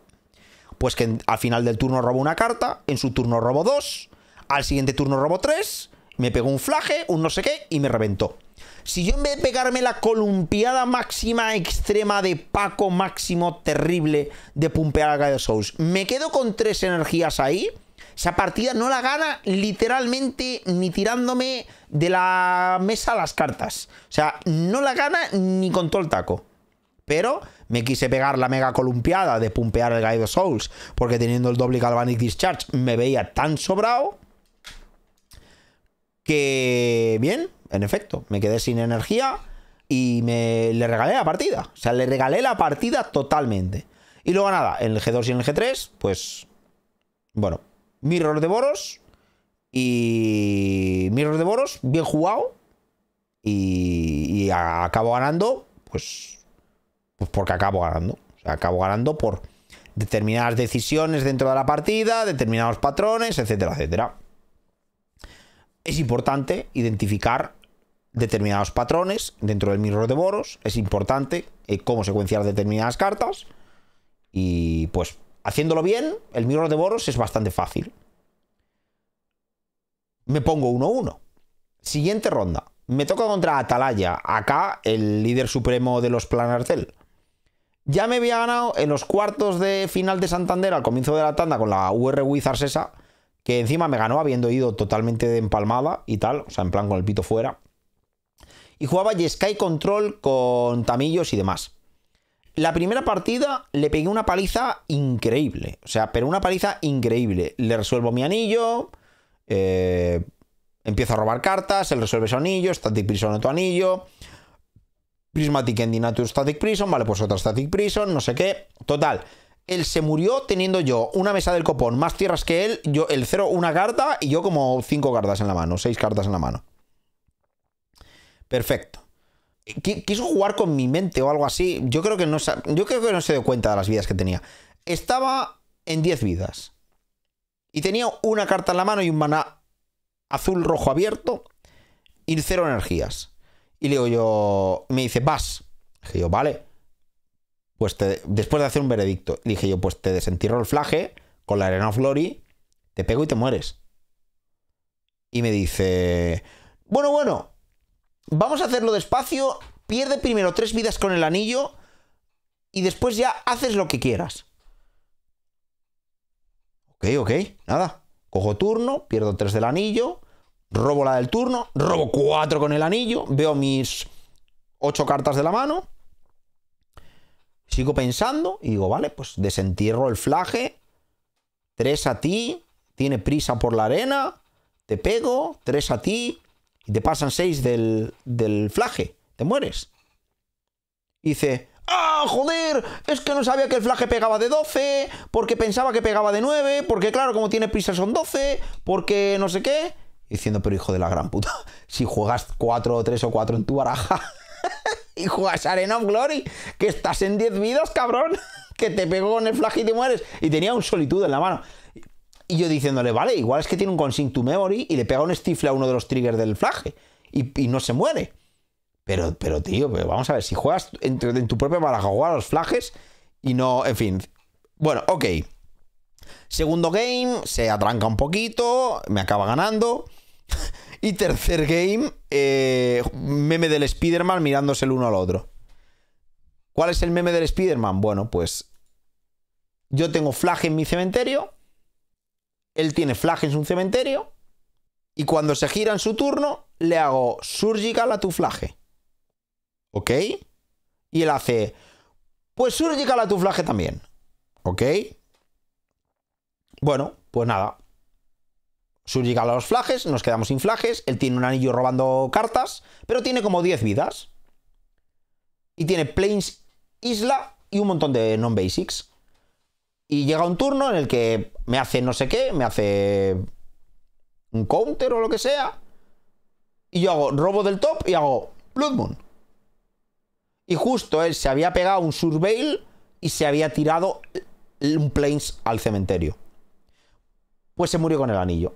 Básicamente, eh, no tenía una manera de quitarse el anillo, no podía jugar el solitud de, la mano para poder empezar a ganar vidas, no tenía flajes porque se los había estirpado, evidentemente. Y, en el lapso de tres turnos, con su propio anillo, pues se, se, inmoló después de haber robado toda la baraja. Le podía haber pegado un stifle al anillo con un Consign to Memory durante uno de los turnos, pero realmente eso tampoco era una solución la solución era robarse otro anillo, reemplazarlo y a partir de ahí empezar a trepar. Pero, em, nada, o sea, se murió con el anillo. Así que consumo la vendetta contra Atalaya. La próxima. La próxima cita, pues no sé cuándo la tendremos, pero próximamente en los mejores cines. Me pongo 2-1. Me toco contra Xavi. si no me equivoco, con Blue Black Ring. Blue Black Ring, que no es Blue Black Frostide, ¿vale? Es la Blue Black Ring esta que jugaba Canister cuando Lord of the Rings. Esa que era con la Shieldred y los anillos. Pues ahora lo único que en vez de eso, pues lleva ranas y lleva otras cosas. Bueno, pues en el primer game, toma y daca, toma y daca, orcos no sé qué, orcos no sé cuál, eh, me mato esto, me mato lo otro, y yo, pues, se gira para, me hace, le quedan tres manas, y por dos me hace una rana y se queda con una carta en la mano que debía ser un removal. Le estampo el anillo, robo con el anillo y pues nada. Cuando a una baraja de esas le resuelves un anillo y el otro no tiene la Shieldred o no le puedes matar a la Shieldred, que por cierto, yo le, él me jugó la Shieldred por 4 y se la maté con un Galvanic Discharge de estos, que por lo que sea está rota la carta. Y, le, enterré, literalmente, palizón máximo de nuevo, igual que a la Sky. En el momento en el que la Boros resuelve el anillo, eh, la Boros corre mucho, ¿eh? La Boros corre mucho. Y nada, en el G2, pues tres cuartas de lo mismo. Em, jugamos a guerra de intercambio de recursos. Mis flages, pues tienen. son bastante pesados. Y, y nada, después llega, llega el ring o lo que sea. Y, empiezas. Eh, primero le atrancas el doble negro o le atrancas el, color con la Blue Moon. Eh, después resuelves el anillo a placer. Empiezas a robar cartas con el anillo. Y, el, y la Blue Black, pues se come una poronga. Eh, bastante interesante. Así que nada, me pongo 3-1 y me toca contra Javierillo, que va también 3-1, pero debido a nuestro terrible desempate y a que los dos que van X1-1, sus oponentes les conceden sendas partidas. Por lo tanto, se ponen. Eh, pueden pactar mesa 1, pacta la mesa 2, pacta la mesa 3. Hay por lo menos 6 personas con 10 puntos más. Y luego estamos la mesa 4, que tenemos 9 puntos podemos pactar a 10. Luego está la mesa 5 y la mesa 6, que como los que habían empatado ya habían jugado entre ellos, de hecho creo que era el empate, pues la mesa 6 y la mesa 5 también tenían una persona con 7 puntos que podía ganar y ponerse en 10.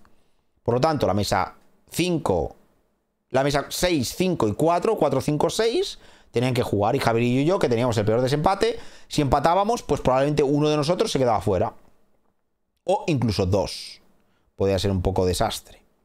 Así que nos toca jugar. El juega Gorius Reanimator, pero 5 colores con Ley Lane Binding. Y nada, la primera partida se le hace un poco bola. Le acabo ahí ganando. En la segunda me hace el trucutru. Básicamente Atraxa reanima. Bueno, se hizo un Falagi que era Jesucristo. Se tiró Atraxa, Gorius Vengeance, tierra. Y dije yo, vale, pues ya estaría. No tenía ni Surgical. Mi mano era un Mulligan 6 muy regulero. Eh, no tenía Surgical, no tenía Carricoche, no tenía nada. Y luego en el G3, pues nada, le, se quedó una mano que tenía bafón, pero me hizo Surveil de turno 1. Surveil de turno 2. En plan de la mano, ¿eh? Y yo le dije, vale, pues esta es la mía, Blood Moon. Y me hace Fon. Y dije yo, vaya, vaya.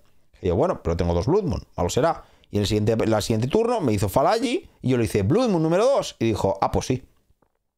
Pues sí que, pues sí que entra la segunda Blood Moon. Y en el momento en el que entra la segunda Blood Moon, hay un par de turnos en los que se atasca él le tiene que pegar la purga a la Blood Moon para empezar a funcionar, pero ya era quizá un poco tarde y se acaba muriendo. Por lo tanto, desafortunadamente me toca ganarle. Me pongo 4-1 y vuelvo otra vez a hacer. Vuelvo otra vez a hacer top. me toca contra. En cuartos de final, me toca contra Nekogu con em, Temur el Drazi Ramp. Básicamente la que jugué yo la semana anterior con la que me estampé en Metrópolis y que me pareció una baraja bastante regulera, pues eh, es lo que jugaba. La primera partida le, gano básicamente pues corriendo más que él. En la segunda partida, el Pyroclash y demás historias, pues son, son, son bastante buenos y tal, por lo que sea. Y en la tercera partida suceden demasiadas cosas él se acelera mucho, hay un turno que juega raro en plan... O sea, hay determinadas secuencias que se pueden hacer de muchas maneras y que, que bueno, pues que terminaron un poco por, por atascar la partida y un rato. Gano en Eco 2-1 con la Temur del Draciramp. Eh, la, la, partida, bueno, por cierto, a otra persona a la que le hice el Charmau de turno 3, de turno 2 on the play, eh, con, el, con el Ragavan entre medias. Eh, parece que la jugada esa es bastante, bastante fuerte, pero bueno. En semifinales me toca Mario. con la Blue Black Frog, eh, otro acompañante del coche, que estaba jugando por primera vez ese fin de semana la baraja de las ranas. Y pues podemos resumirlo entre intercambio de recursos, bla, bla, bla. El flage le acaba ganando la partida. Eh, si me junta, vamos, si me escucha junta cartas, probablemente se acuerde. Eh, en este matchup, consejo como jugador de Boros, no hagáis el Murtide 6-6. Hacedlo 7-7. Por lo menos. Y si no, 8-8. ¿Por qué? Porque juntar flage más Bolt es relativamente fácil. Y es lo que pasó. Que él me presionaba muchísimo, estaba en 18, me pegaba ya de 6 con el primer zambombazo del Murtide. Y se comió un flage más Bolt al, al Murtide que no pudo proteger. Porque al final los removal, pues la interacción que tienes a nivel de counter es la que es. Y tus spellsnares no contrarrestan ni flages ni bolts. Y se le murió el Murtide. Y según se le murió el Murtide, se murió él, básicamente. Y en la segunda partida, pues nada, eh, tuvo, le pegué un, flaje a una rana. Él le, tiró dos cartas a la rana para protegerla. Y tras las dos cartas de la rana le vino un Static Prison. Perdió el collar y perdió el perro también. Esperemos que el perro no lo pierda. Que tiene una perra que se llama Ciri Mumaja. Pero el caso es que fue una masacre. No sé, la gente me dice que la Blue Black Frog todo el rato. Eh, que, es, que es muy buen deck que no sé qué, que no sé cuál. Yo, la verdad, no termino de cogerle el punto. Esta semana, en los directos eh, jugando, intentaré traer alguna baraja spicy y a ver si me da tiempo a jugar por lo menos, yo qué sé, una vez la Frogtide y mm, sacar un poco de impresiones. Pero yo cada vez que me, cruzo con las Energy, con la, con la Frogtide, y ya van, no sé, cuatro o cinco veces y las he apalizado fácil. No sé, así un poco... Así un poco raro, pero bueno. Total, que llegamos a la final y me toca contra Woods, que el día anterior había jugado Mardu, pero le habían prestado la Amulet. Creo que habían cambiado y que jugaba ahora Jonah Ingeru jugaba la Mardu y Woods jugaba la Amulet, porque el día anterior ¡Ah! Lo tengo, ya lo tengo. Mi oponente que no. ¡Ay, lo siento!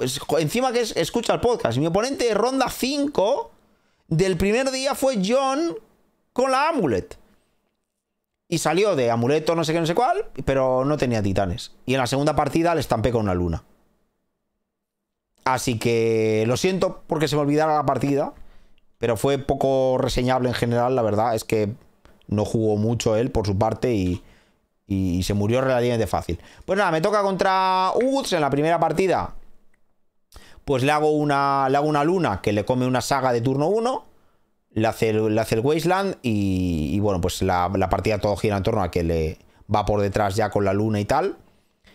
En el G2 hace turno 1, tierra amuleto, y después hace turno 2, tierra amuleto, Bonesland, flota 4, explore, sube a 6, Grazer, baja a 5, sube a 9 y hace de mano Coloso, pone la Bonesland, flota al maná, roba y baja Driada y me da turno o algo así. O sea, en plan, turno 2, Coloso de la mano, sin tierras ya. Y, dije yo, me cago en Dios.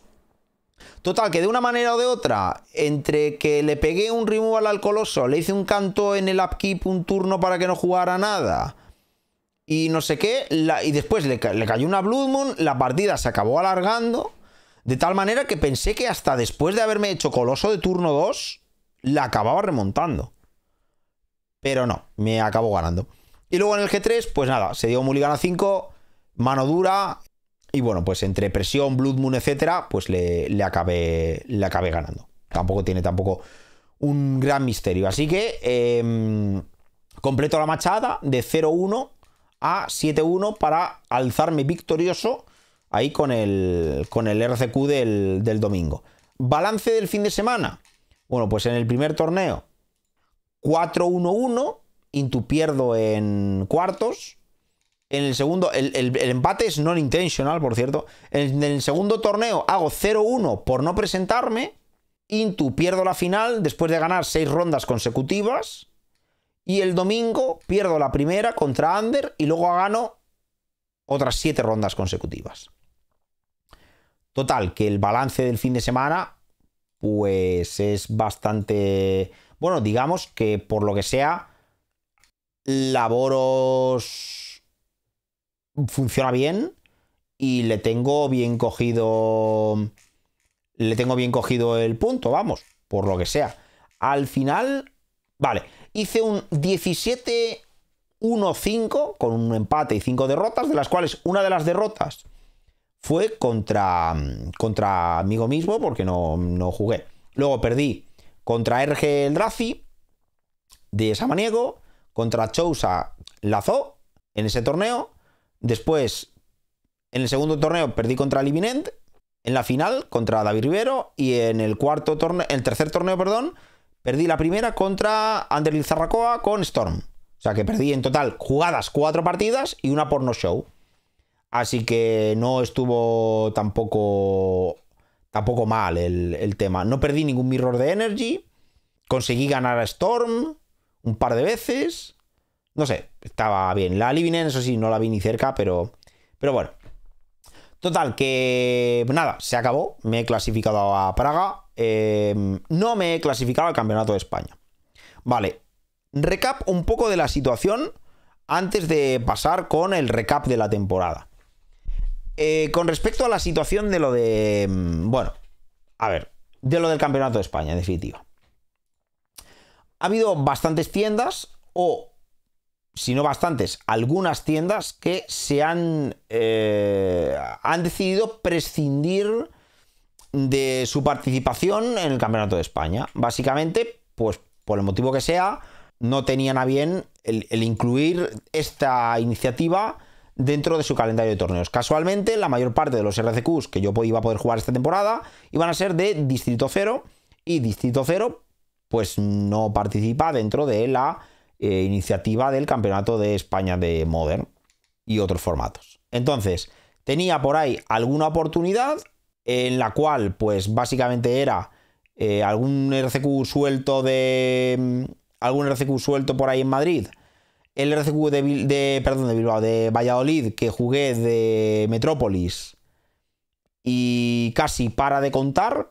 Supongo que el fin de semana último de todos que iba a poder jugar iba a ser el doblete de Zamora, que eso sí que eran clasificatorio al campeonato de mm, al campeonato de España y, y poco más. Total, que al final la cuestión es que si iba a jugar o iba a tener la oportunidad de poder jugar un total de 15 RCQs, pues probablemente 11 o 10, muy seguramente 11, no iban a ser clasificatorios del Campeonato de España. Y bueno, pues eso hacía que fuera poco probable que yo me terminara clasificando de una manera o de otra. Y nada, pues es lo que hay, tampoco va a más. La pregunta al millón es, ¿ahora que has ganado un RCQ, vas a intentar clasificarte al Campeonato de España? Bueno, le he estado dando unas pocas vueltas creo que el hecho de que los clasificatorios del Campeonato de España, solo clasificatorios del Campeonato de España que hay son pocos, más que otras ocasiones, es cierto, pero eh, son, son pocos, ¿vale? Entonces, he mirado por encima y la verdad es que me pilla muy mal, con la salvedad de uno que hay, creo que el fin de semana del Mundial el fin de semana del doblete de Zamora, me parece que hay uno en Avalon, en Burgos, que es lo, más parecido a un, a un clasificatorio. No RCQ que me pudiera pillar cerca, si no me equivoco. Igual me equivoco y hay alguno que está también cerca y no lo sé, pero el resto es rollo, o irme a Madrid o irme a, yo que sé, a Huelva o una salvajada por el estilo. La verdad es que me gustaría jugar el Campeonato de España, no nos vamos a engañar creo que es un torneo que está muy chulo y que en el que deberían de jugar los mejores jugadores, pero que pues por una decisión totalmente respetable de no querer repartir plazas del Campeonato de España en sus RCQs, por el tema de la recaudación o lo que fuera, eh, porque muy seguramente no estén de acuerdo con el reparto de los, de los porcentajes o lo que sea, no tengo ni idea, la verdad. Pero en definitiva, eh, teniendo en cuenta que para todos los que jugamos, pues de aquí de, de Castilla León para arriba, eh, la grandísima mayor parte de los RCQs forman parte de, lo que es el circuito de Distrito Cero, que afortunadamente lo tenemos por aquí cerca y que ofrece un montonazo de torneos. pues es, un poco feedback, porque una gran parte de la comunidad, eh, sobre todo la, central, la centralizada en torno a Distrito Cero, que será la tienda de lejos que más RCQ organice de toda España, pues se queda, se va a quedar sin estar clasificada. Yo creo que, que, la, que, la totalidad de ellos. He hablado también con. He hablado con, con Richie, que ganó en la primera tanda. Vamos, en el primer fin de semana. Eh, o en el segundo, ya no recuerdo. He hablado con Alberto Galicia, que este fin de semana pasado también eh, ha conseguido clasificar. No sé dónde ha sido, la verdad, dónde ha clasificado Alberto. No sé si fue en Doctor Ocio o. No sé, bueno. Total, que Alberto tampoco ha clasificado al Campeonato de España. Eh, he, hablado con ellos. La sensación o el, sentimiento es similar en nuestro caso. ¿Nos gustaría jugar al Campeonato de España? Sí.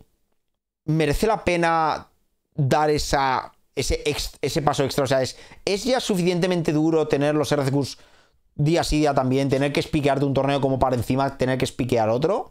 Sí. ¿Es justificable tener que ahora ponerte a jugar torneos para poder conseguir acceder por puntos pagando los 75 euros esos de mierda? No, no es razonable. Y el resumen es que al final, pues vamos a optar por no supongo por no, no jugar el Campeonato de España. Puede sonar de nuevo polémico, pero ya sabéis que al final me... me no sé, o sea, no decir lo que pienso no me cuadra mucho, pero bueno, ¿Es el campeonato de España un torneo donde juegan los mejores? Un torneo donde no va a estar Alberto Galicia, no va a estar Richie, no voy a estar yo, no van a estar la mayor parte, el 90% o 99,9% de los que se han clasificado en Distrito Cero. O sea, vamos a poner que Faustino se clasifica en Distrito Cero la semana que viene o cuando haya el próximo. ¿Va a ser un campeonato de España un sitio donde juegan los mejores, donde no va a jugar Faustino? honestamente no. Es, complicado. Entonces, después de ver un poco el reparto de la tanda, eh, habría que un poco también saber el motivo por el cual al final las posturas de Distrito Cero y del Campeonato de España no han podido coincidir, pero que haya rollo 12 o 15 clasificados de una zona de España que no van a acceder al Campeonato de España porque la tienda en concreto no se vincula, pues evidentemente el Campeonato de España no tiene la culpa de que no se vincule, la tienda tampoco tiene la culpa de que sus intereses sean divergentes o distintos a los del campeonato, pero te hace pensar un poco que al final no sé, como que la fiesta del Magic se desvirtúa un poco más todavía de lo que ya está desvirtuada, que no es poco.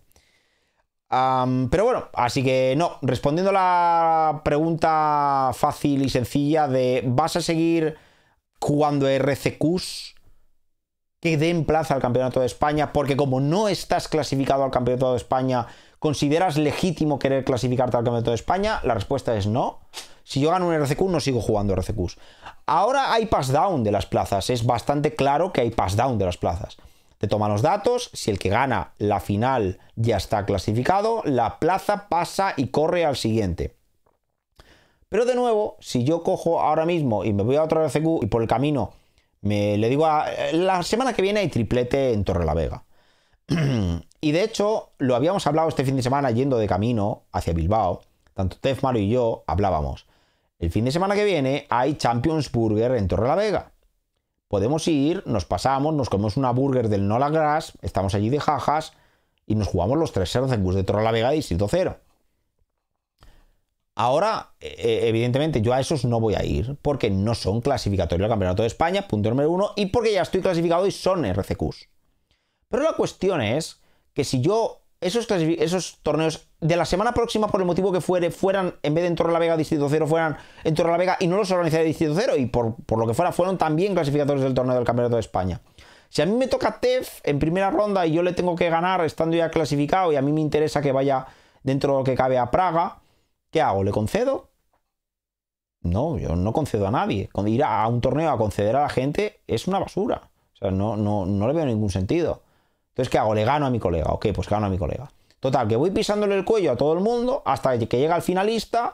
Finalista que, si coincide conmigo, se va a llevar automáticamente a la plaza del RC porque yo estoy clasificado. Y entonces a mí me va a tocar jugar por la plaza del Campeonato de España Una final en la cual mi oponente literalmente ya ha ganado porque ya tiene la plaza Praga, ya que yo ya estoy clasificado. Por lo tanto, el único que se juega algo en la final, al final de cuentas, casi soy yo, porque lo que interesa a la mayor parte de la gente, y, si dejaran splitear muchos, sería la plaza Praga.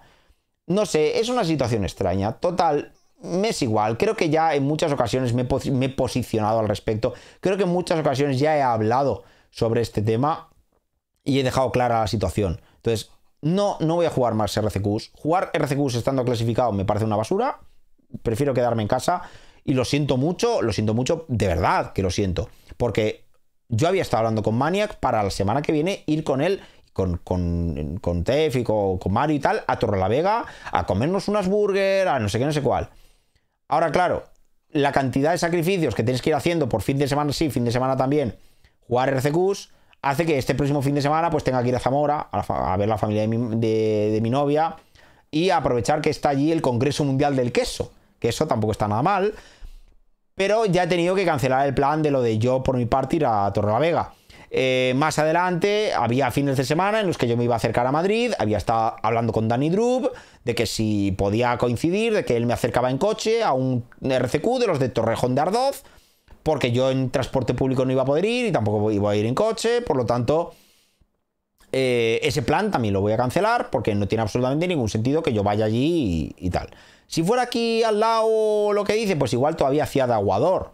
De hecho, si el fin de semana que viene yo no tuviera lo de un poco compromiso o deuda de deuda marital de tener que ir a Zamora, pues probablemente me iba a Torre la Vega solamente de hacer de aguador, no jugar, simplemente ver las partidas, al acabar las partidas darles feedback, eh, comentar, intentar ayudarles en la medida de lo posible, pero desde fuera del torneo, porque jugando en el torneo yo no iba a poder ayudarles, porque si jugaban conmigo iba a intentar ganarles. Porque es de la única manera que se puede jugar a Magic, intentando ganar a tu oponente.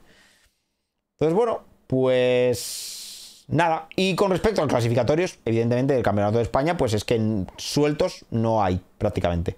Hay muy pocos, que repito, hay más que el año anterior, pero no hay.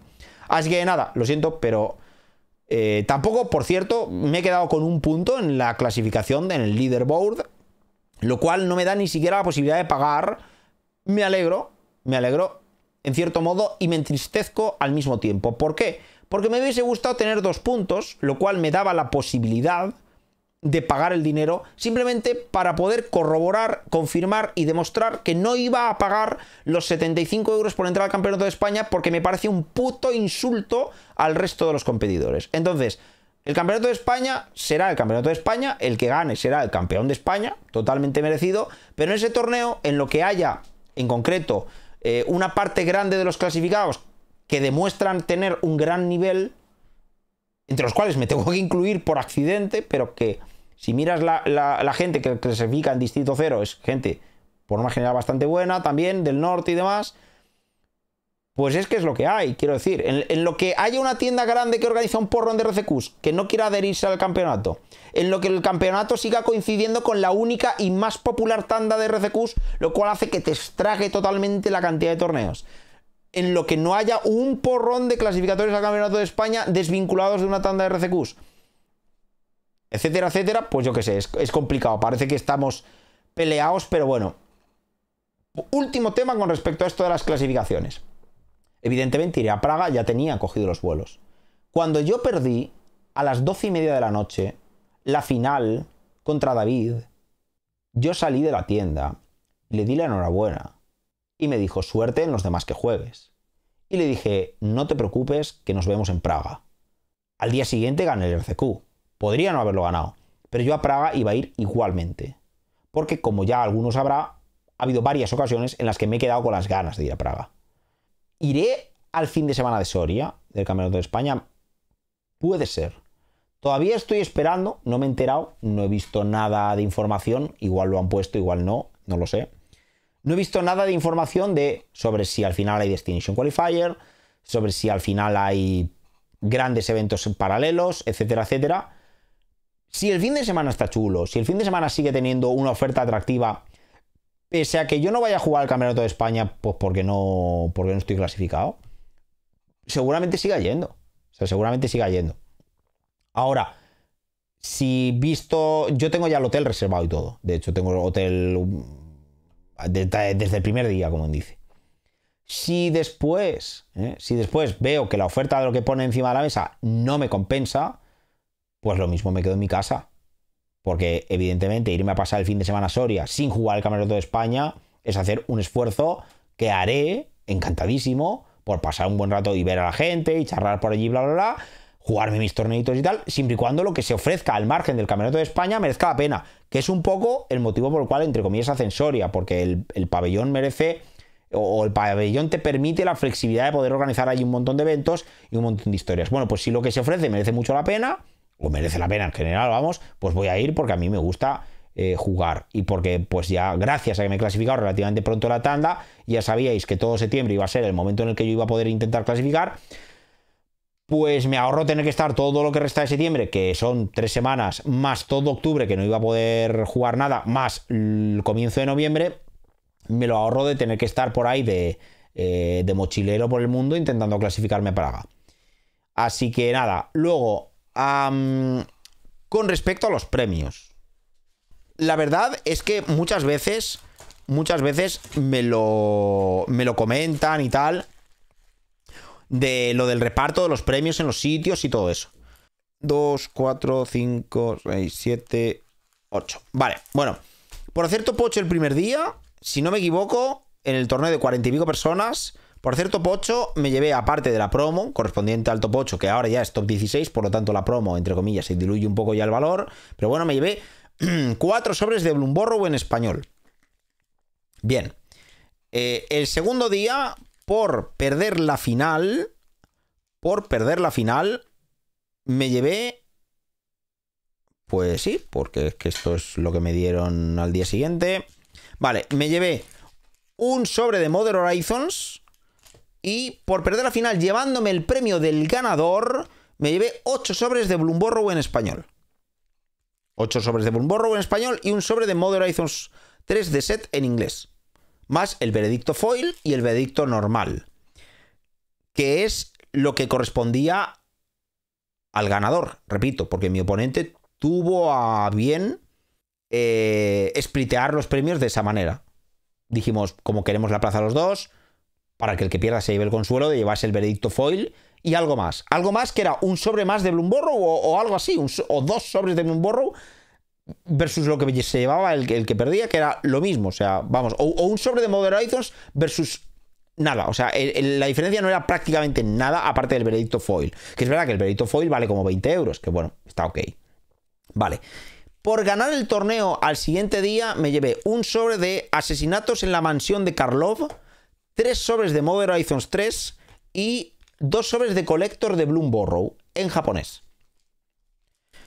Bueno, esto, evidentemente, o sea, al final de cuentas, eh, Distrito Cero voy habitualmente, es la tienda partner del Arcanis, yo trabajo para el Arcanis, también van al Pachanga, o sea, quiero decir que el, el feedback, la pieza de feedback se la transmitiré igualmente, pero voy a decir una cosa para que veáis que realmente, porque todavía alguno se va a pensar, se va a pensar que es que le tengo inquina al campeonato de España o que hay alguna cosa así un poco en plan que hay algo inquistado o lo que sea. Ojalá los RCQs de Distrito Cero fueran parte del campeonato de España. ¿Vale? Y os explico por qué. Que yo después de haber ganado un Después de haber ganado dos de los tres RCQs, porque el que perdí me llevé el premio del ganador. Así que a efectos prácticos es como que a nivel de premios hubiese ganado el RCQ, ¿vale? Después de haber ganado dos RCQs y haber hecho cuartos en el siguiente, me haya llevado, ¿eh? Me haya llevado 12 sobres de Bloomborrow en español, un sobre de Carlos Manor, 4 de Modern Horizons 3 y dos Collector Japo, que por si alguno lo sabe, valen prácticamente lo mismo o lo mismo que los Collector en inglés esto por ganar dos RCQs, primero de 40 personas, segundo de 30, tercero de 28, es que no le veo sentido. O sea, esto debería ser el premio del de 40 para el ganador prácticamente. O sea, no tanto, pero prácticamente. Que yo entiendo que las plazas, al final, es lo que le renta a la gente. A mí el primero, y yo voy por la plaza. Y que la plaza pues tiene un valor de como 160 euros con el pack de las promos y no sé qué, no sé cuál. Perfecto, lo que sea. Pero es que cuando yo he hecho, he hecho el acopio de haber ganado dos torneos en el fin de semana y haber hecho cuartos en el otro, que es. Joder, que es que he perdido cinco partidas en todo el fin de semana y una no me he presentado. O sea. Que, yo he hecho cuentas y yo estoy poniéndolo al peso en MKM, que no me lo va a comprar nadie. No me dan ni, ni 120 euros por ello. O sea, de hecho, contando los veredictos, los dos veredictos foil, los tres veredictos normales y todo lo que me he llevado de premio, en plan de premio no plaza, evidentemente, es que me dan 150 pavos o menos por todo.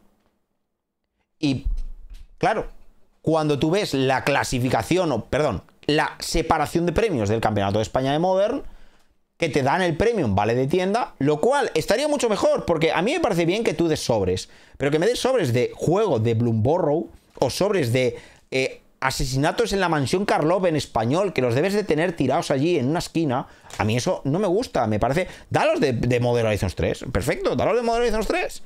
Y quiero decir que... O sea, no des las sobras de lo que... No des sobres de colector de Bloomborrow japonés, que no los quiere nadie.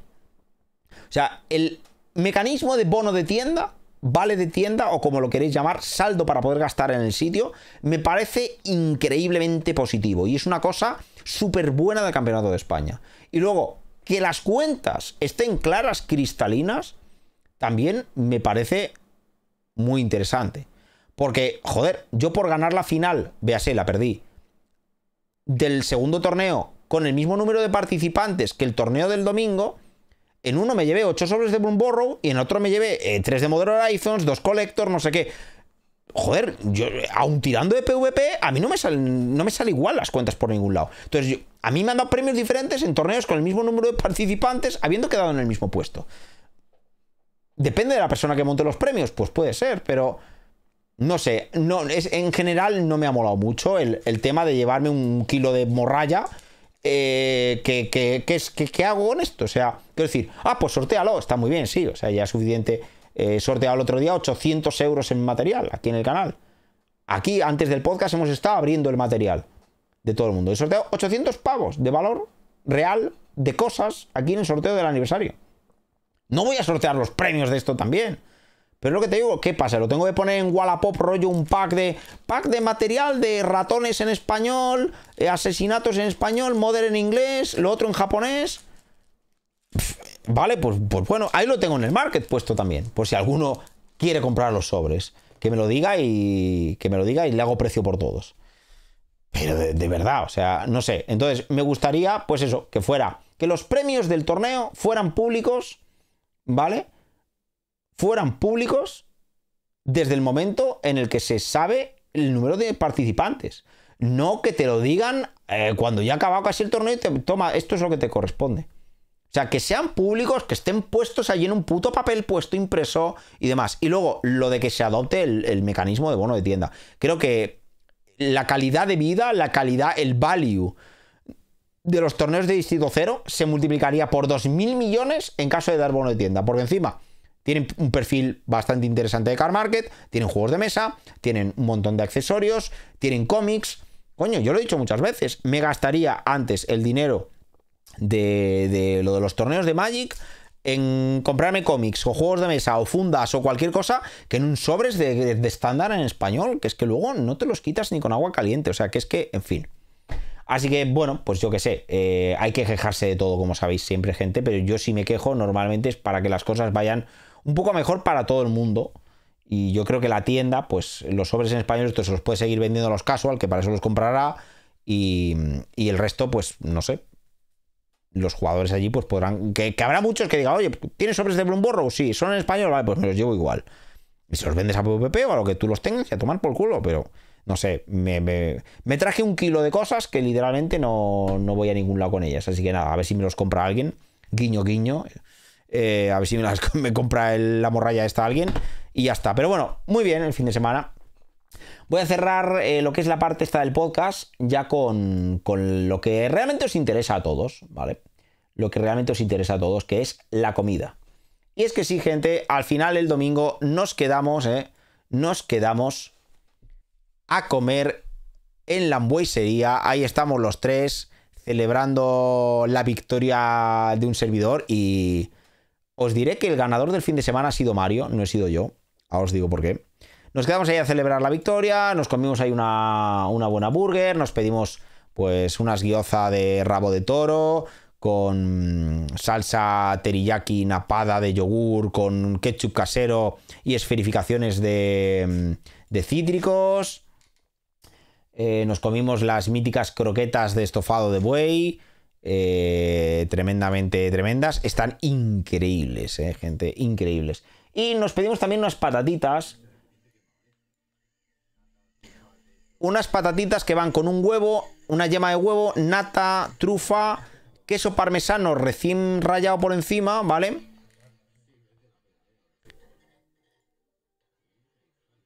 Eso era... Madre. De hecho, lo grabé en vídeo y os lo puedo poner con el audio y todo, porque el señor, por cierto, el servicio allí en, la hamburguesería, como siempre, un servicio 10 de 10, la gente súper maja, súper atenta, cero problemas. Mira, os pongo el audio. Este recipiente quema, ¿vale? Nata, trufa, queso, huevo, boletus, todo de dieta. todo light. Y lo dejamos. hay que probarlo. ¿no? Sí, merece la pena, ¿eh? Ahora sí. Y ahí está, listo para darle. Buen provecho. Muchísimas gracias. Bueno, eh, a mí no me gusta la trufa, la verdad, los sabores trufados no me gustan. Y mm, estaba aquella salsa. Bueno, que se lo digan a Mario que se comió casi toda la puta ración entera él, en plan como un cerdaco. Encima a Ted y a mí no nos gustaba la trufa, pero fue con plan como. A mí ya ha llegado un momento en el que dices, ya vas teniendo años, tienes que, tienes que comer de todo. Y pues hay que reconocer que pese a que a mí no me gusta la trufa, eh, esas patatas eran. Madre mía, cómo estaban. Y luego, espérate, que este mm, Mario se pidió una burger. Se pidió una burger, atentos. Vaya burger se pidió el Mario. Atentos, eh. Es especial para Fondi, que no le va, pero que nada mal. Está ya verás. Que te traen la raclette.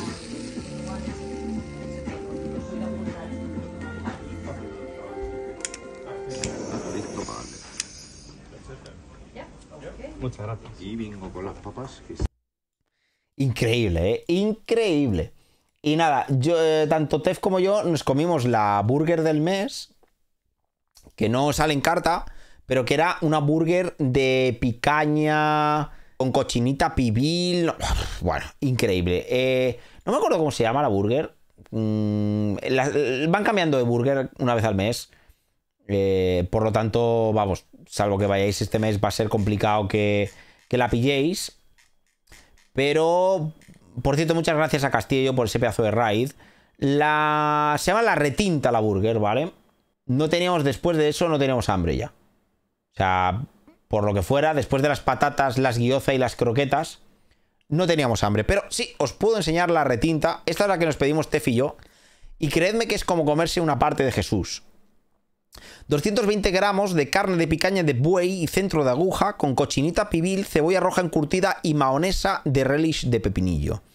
Increíble, o sea, la burger estaba increíble, la carne era hiper mega premium, estaba súper buena, el pan increíble también, bueno. eh, y luego, ah, la burger del otro día, la burger que me comí, por cierto, que me gustó, es una de mis favoritas del sitio, es la Rubia gallega, que es 100% de carne de buey viejo con piquillos asados a la leña, parmesano rellano ma- madurado de 30 meses, cebolla morada de zaya, piparras Eusko Label encurtidas, rúcula y mahonesa de ajo negro. Tremendo, tremendo. Bueno, pues nada, después de esto, debo decir que el ganador del fin de semana no fui yo, con mi séptima clasificación consecutiva al Regional European Regional Championship, o como se llame la cosa esta que no es un Pro Tour y tampoco es un GP, pero bueno, ahí está entre medias. Siete clasificaciones, mantengo el pulso ahí en la cúspide de la porra de salseo, por eso no me coge nadie nunca, porque estoy en el tier, en segundo tier más alto, codeándome con Pachi, con gente muy buena, por lo tanto es normal que no me cojan. Yo tampoco me cogería eh, cuando valgo una millonada de coger en las porras estas, porque por lo que sea, pues va por el número de clasificaciones, que al final me parece un criterio bastante legítimo del número de clasificaciones como manera de medirse la polla, pero la realidad es que, claro, pues eh, que me pongan a mí en el escalón o en el escalafón más alto eh, por haberme clasificado siete veces, pues es un poco, claro, como que hacen muy buenos a los otros, ¿no? En comparación conmigo. Pero em, Mario fue el ganador del fin de semana. Lo digo una vez más y os lo digo por qué. Que por cierto, os pongo también una foto. Eh, Estábamos aquí una foto. eh, Mario, estaba yo aquí esperando y tal. Y estaba Mario con. Aquí justo después de haber ganado en Eco. Estaba esperando ahí y tal. Mario se abrió el colector de Bloomborrow. ¿Por qué? Porque Mario tra- trabaja en la perrera de aquí.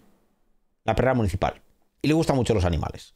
Entonces ha abierto una cantidad enorme de material de Bloomborrow. Y cuando le dieron un colector japo de Bloomborrow, pues se le hizo el culo pesicola. Dijo, "Mm, si hubiese sido otra cosa lo vendía, pero este en concreto quiero abrírmelo. Y se abrió el colector de Bloomborrow. ¿Sabéis lo que pasó en el colector de Bloomborrow? Que se abrió el oso este mítico de la Amulet, este que se utiliza ahora que te recupera las tierras. La versión esta del marco dorado, esta de pan de oro y tal, que vale un dineral. Pues en Japo Foil se lo abrió. Y el furro este, que se llama Rumara. Rumara o algo así. Lumala o no sé. Bueno, el, el furro este eh, lo ha vendido ya. Lo ha vendido ya literalmente por 300 pavos en MKM. O sea, el, que triunfó de todo el fin de semana ha sido Mario. Lumra se llama. Se llama Lumra la carta. Y literalmente ya está vendido. O sea, 300 bolos de oso que se slameó el puto Mario en el sobre. Así que nada, pues, pues muy bien. Pues Mario, gran triunfador del fin de semana. Y bueno, y también podemos decir que Abraham, aparte de haber perdido dos veces conmigo, también tuvo la ocasión, esta vez sí, de experimentar la grandiosidad de eh, las mejores, las que para mí son las mejores burgers de España. Aunque ya me han dicho dos sitios más que tengo que ir a probar. Así que bueno, seguiremos en la búsqueda de la más y mejor burger. No puedo contaros mucho más. No quiero tampoco contaros mucho más. Habrá probablemente una segunda, un segundo podcast. Tengo ahí un poquito que voy como muy atropellado con los podcasts porque tenía uno que se me atascó con el de los baneos. Por lo tanto, luego, bueno, como que voy con un poco más de retraso del habitual con los podcasts. Pero en definitiva, este ya sale el jueves y entre medias, pues irá viendo episodios de estos de Ojeda Talks aquí un poquito más out of context, que iré sacando contando cosas. Os tengo que contar el motivo por el cual ya no se pueden vender playsets en MKM. Os tengo que contar un poco lo que nos dijeron los de Wizards con respecto a, a Nadu y un poco mis impresiones después de dos semanas tras los baneos. Tengo una anécdota de un señor que me intentó hacer trampas y le pillaron y le descalificaron. Tengo anécdotas varias, pero esas tendrán que esperar para otro episodio. Así que nada, muchísimas gracias a todos los que habéis ido acompañando a lo largo de esta tanda de Modern, a los que me habéis ido dando ánimos. La tanda comenzó con un RCQ de 43 personas en Santander jugando Boros, en el cual hice 4-1-1 y perdí en cuartos contra Atalaya. Después me hice un 1-2 en un RCQ de 37 personas allí en Santander ese mismo fin de semana con la RG Breach el Drazi. Jugué un RCQ al fin de semana siguiente de 40 personas con Gorios Benyans aquí en Valladolid y perdí en cuartos de final. Después al día siguiente me fui a Madrid, casi medio de empalmada, durmiendo de puta pena semifinales en el torneo de 64 personas con Mardu Energy, perdiendo contra Saúl ahí con los Eldracis en las semis. Todo eso fue antes de baneos. Después de los baneos me jugué, que no era RCQ, pero bueno, un torneo de 30 personas en Palencia. El buen torneo de la Burger Caníbal y la inclusión. Tenéis por ahí el podcast y tal. Cuartos de final, 30 personas con la Mardu, perdiendo contra la UR de Bruno. UR Wizards Greedy, con partidas ahí trepidantes. Después me fui al día siguiente y jugué otro RCQ de 63 personas de nuevo en Metrópolis Madrid con el Drazi Ramp, perdiendo 2-2, eh, quedando eliminado a manos de José, el eventual ganador, José Infecto, eventual ganador del torneo con esa Blue Black Frog. Y ahora ya nada, este último fin de semana ya de, torneos, cuarto y último fin de semana de torneos para mí esta temporada. Cuartos de final haciendo eh, 4-1-1 en Bilbao con la Boros. Perdí la final después de empezar 0-1 con la Boros también, eh, tras no poder jugar la primera ronda por estar jugando el otro torneo.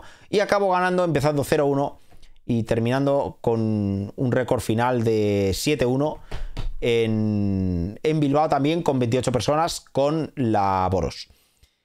No se ha dado mal la tanda. Puedo decir que he jugado un total de 3, 4, 5, 6, 7, 8, 9. He jugado 9 torneos en total. Y he hecho eh, he ganado uno, he llegado a la final en otro, he llegado a la semifinal en otro, he hecho cuatro cuartos de final. Básicamente, todos los torneos, independientemente del número de rondas y jugadores, que he jugado con una baraja que consistía en jugar energías, he hecho top. O sea, he jugado nueve torneos y he hecho siete tops con energías y he hecho un 1-2 y un 2-2 con las Eldracis. Así que algo, algo tendrán las energías y también algo sabré yo de jugar la baraja, supongo, a estas alturas. Pero nada, hasta ahí hemos llegado. La próxima semana pues tendré otras cosas que contar. No lo sé el qué. Supongo que ya volveremos a temas más generales y no tendré tantos reportes de torneos, pero sí que os contaré a ver qué tal el Congreso del Queso.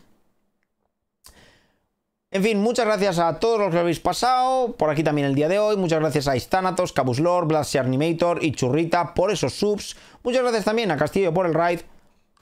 Y sin más que contar, nos vemos mañana con gameplay por la tarde, gameplay salsero. Y el jueves, pues probablemente por la noche, horario de noche, 9 10 de la noche, con también más gameplay. Y el viernes, a ver cómo os portáis, pero lo mismo, pues también jugamos. Así que nos veremos por ahí. Lo mismo me acerco a Madrid a ver si coincido a comer en algún lado. También tengo por ahí el álbum que, como ya sabéis, me gusta mucho sacar el álbum de paseo. Este fin de semana ha sido bueno, ha sido como 400 pavos en ventas, no está mal. Pero veréis un post de Twitter por ahí en el que anunciaré unas cuantas cosas ahora que no puedo vender playsets por MKM. Por si a alguno os interesa, pues lo mismo me pego una escapadita ahí a Madrid a, a repartir manteca con el álbum y a comer en algún sitio rico, que al final se me da mejor comer en sitios ricos que no lo de jugar a las Magic.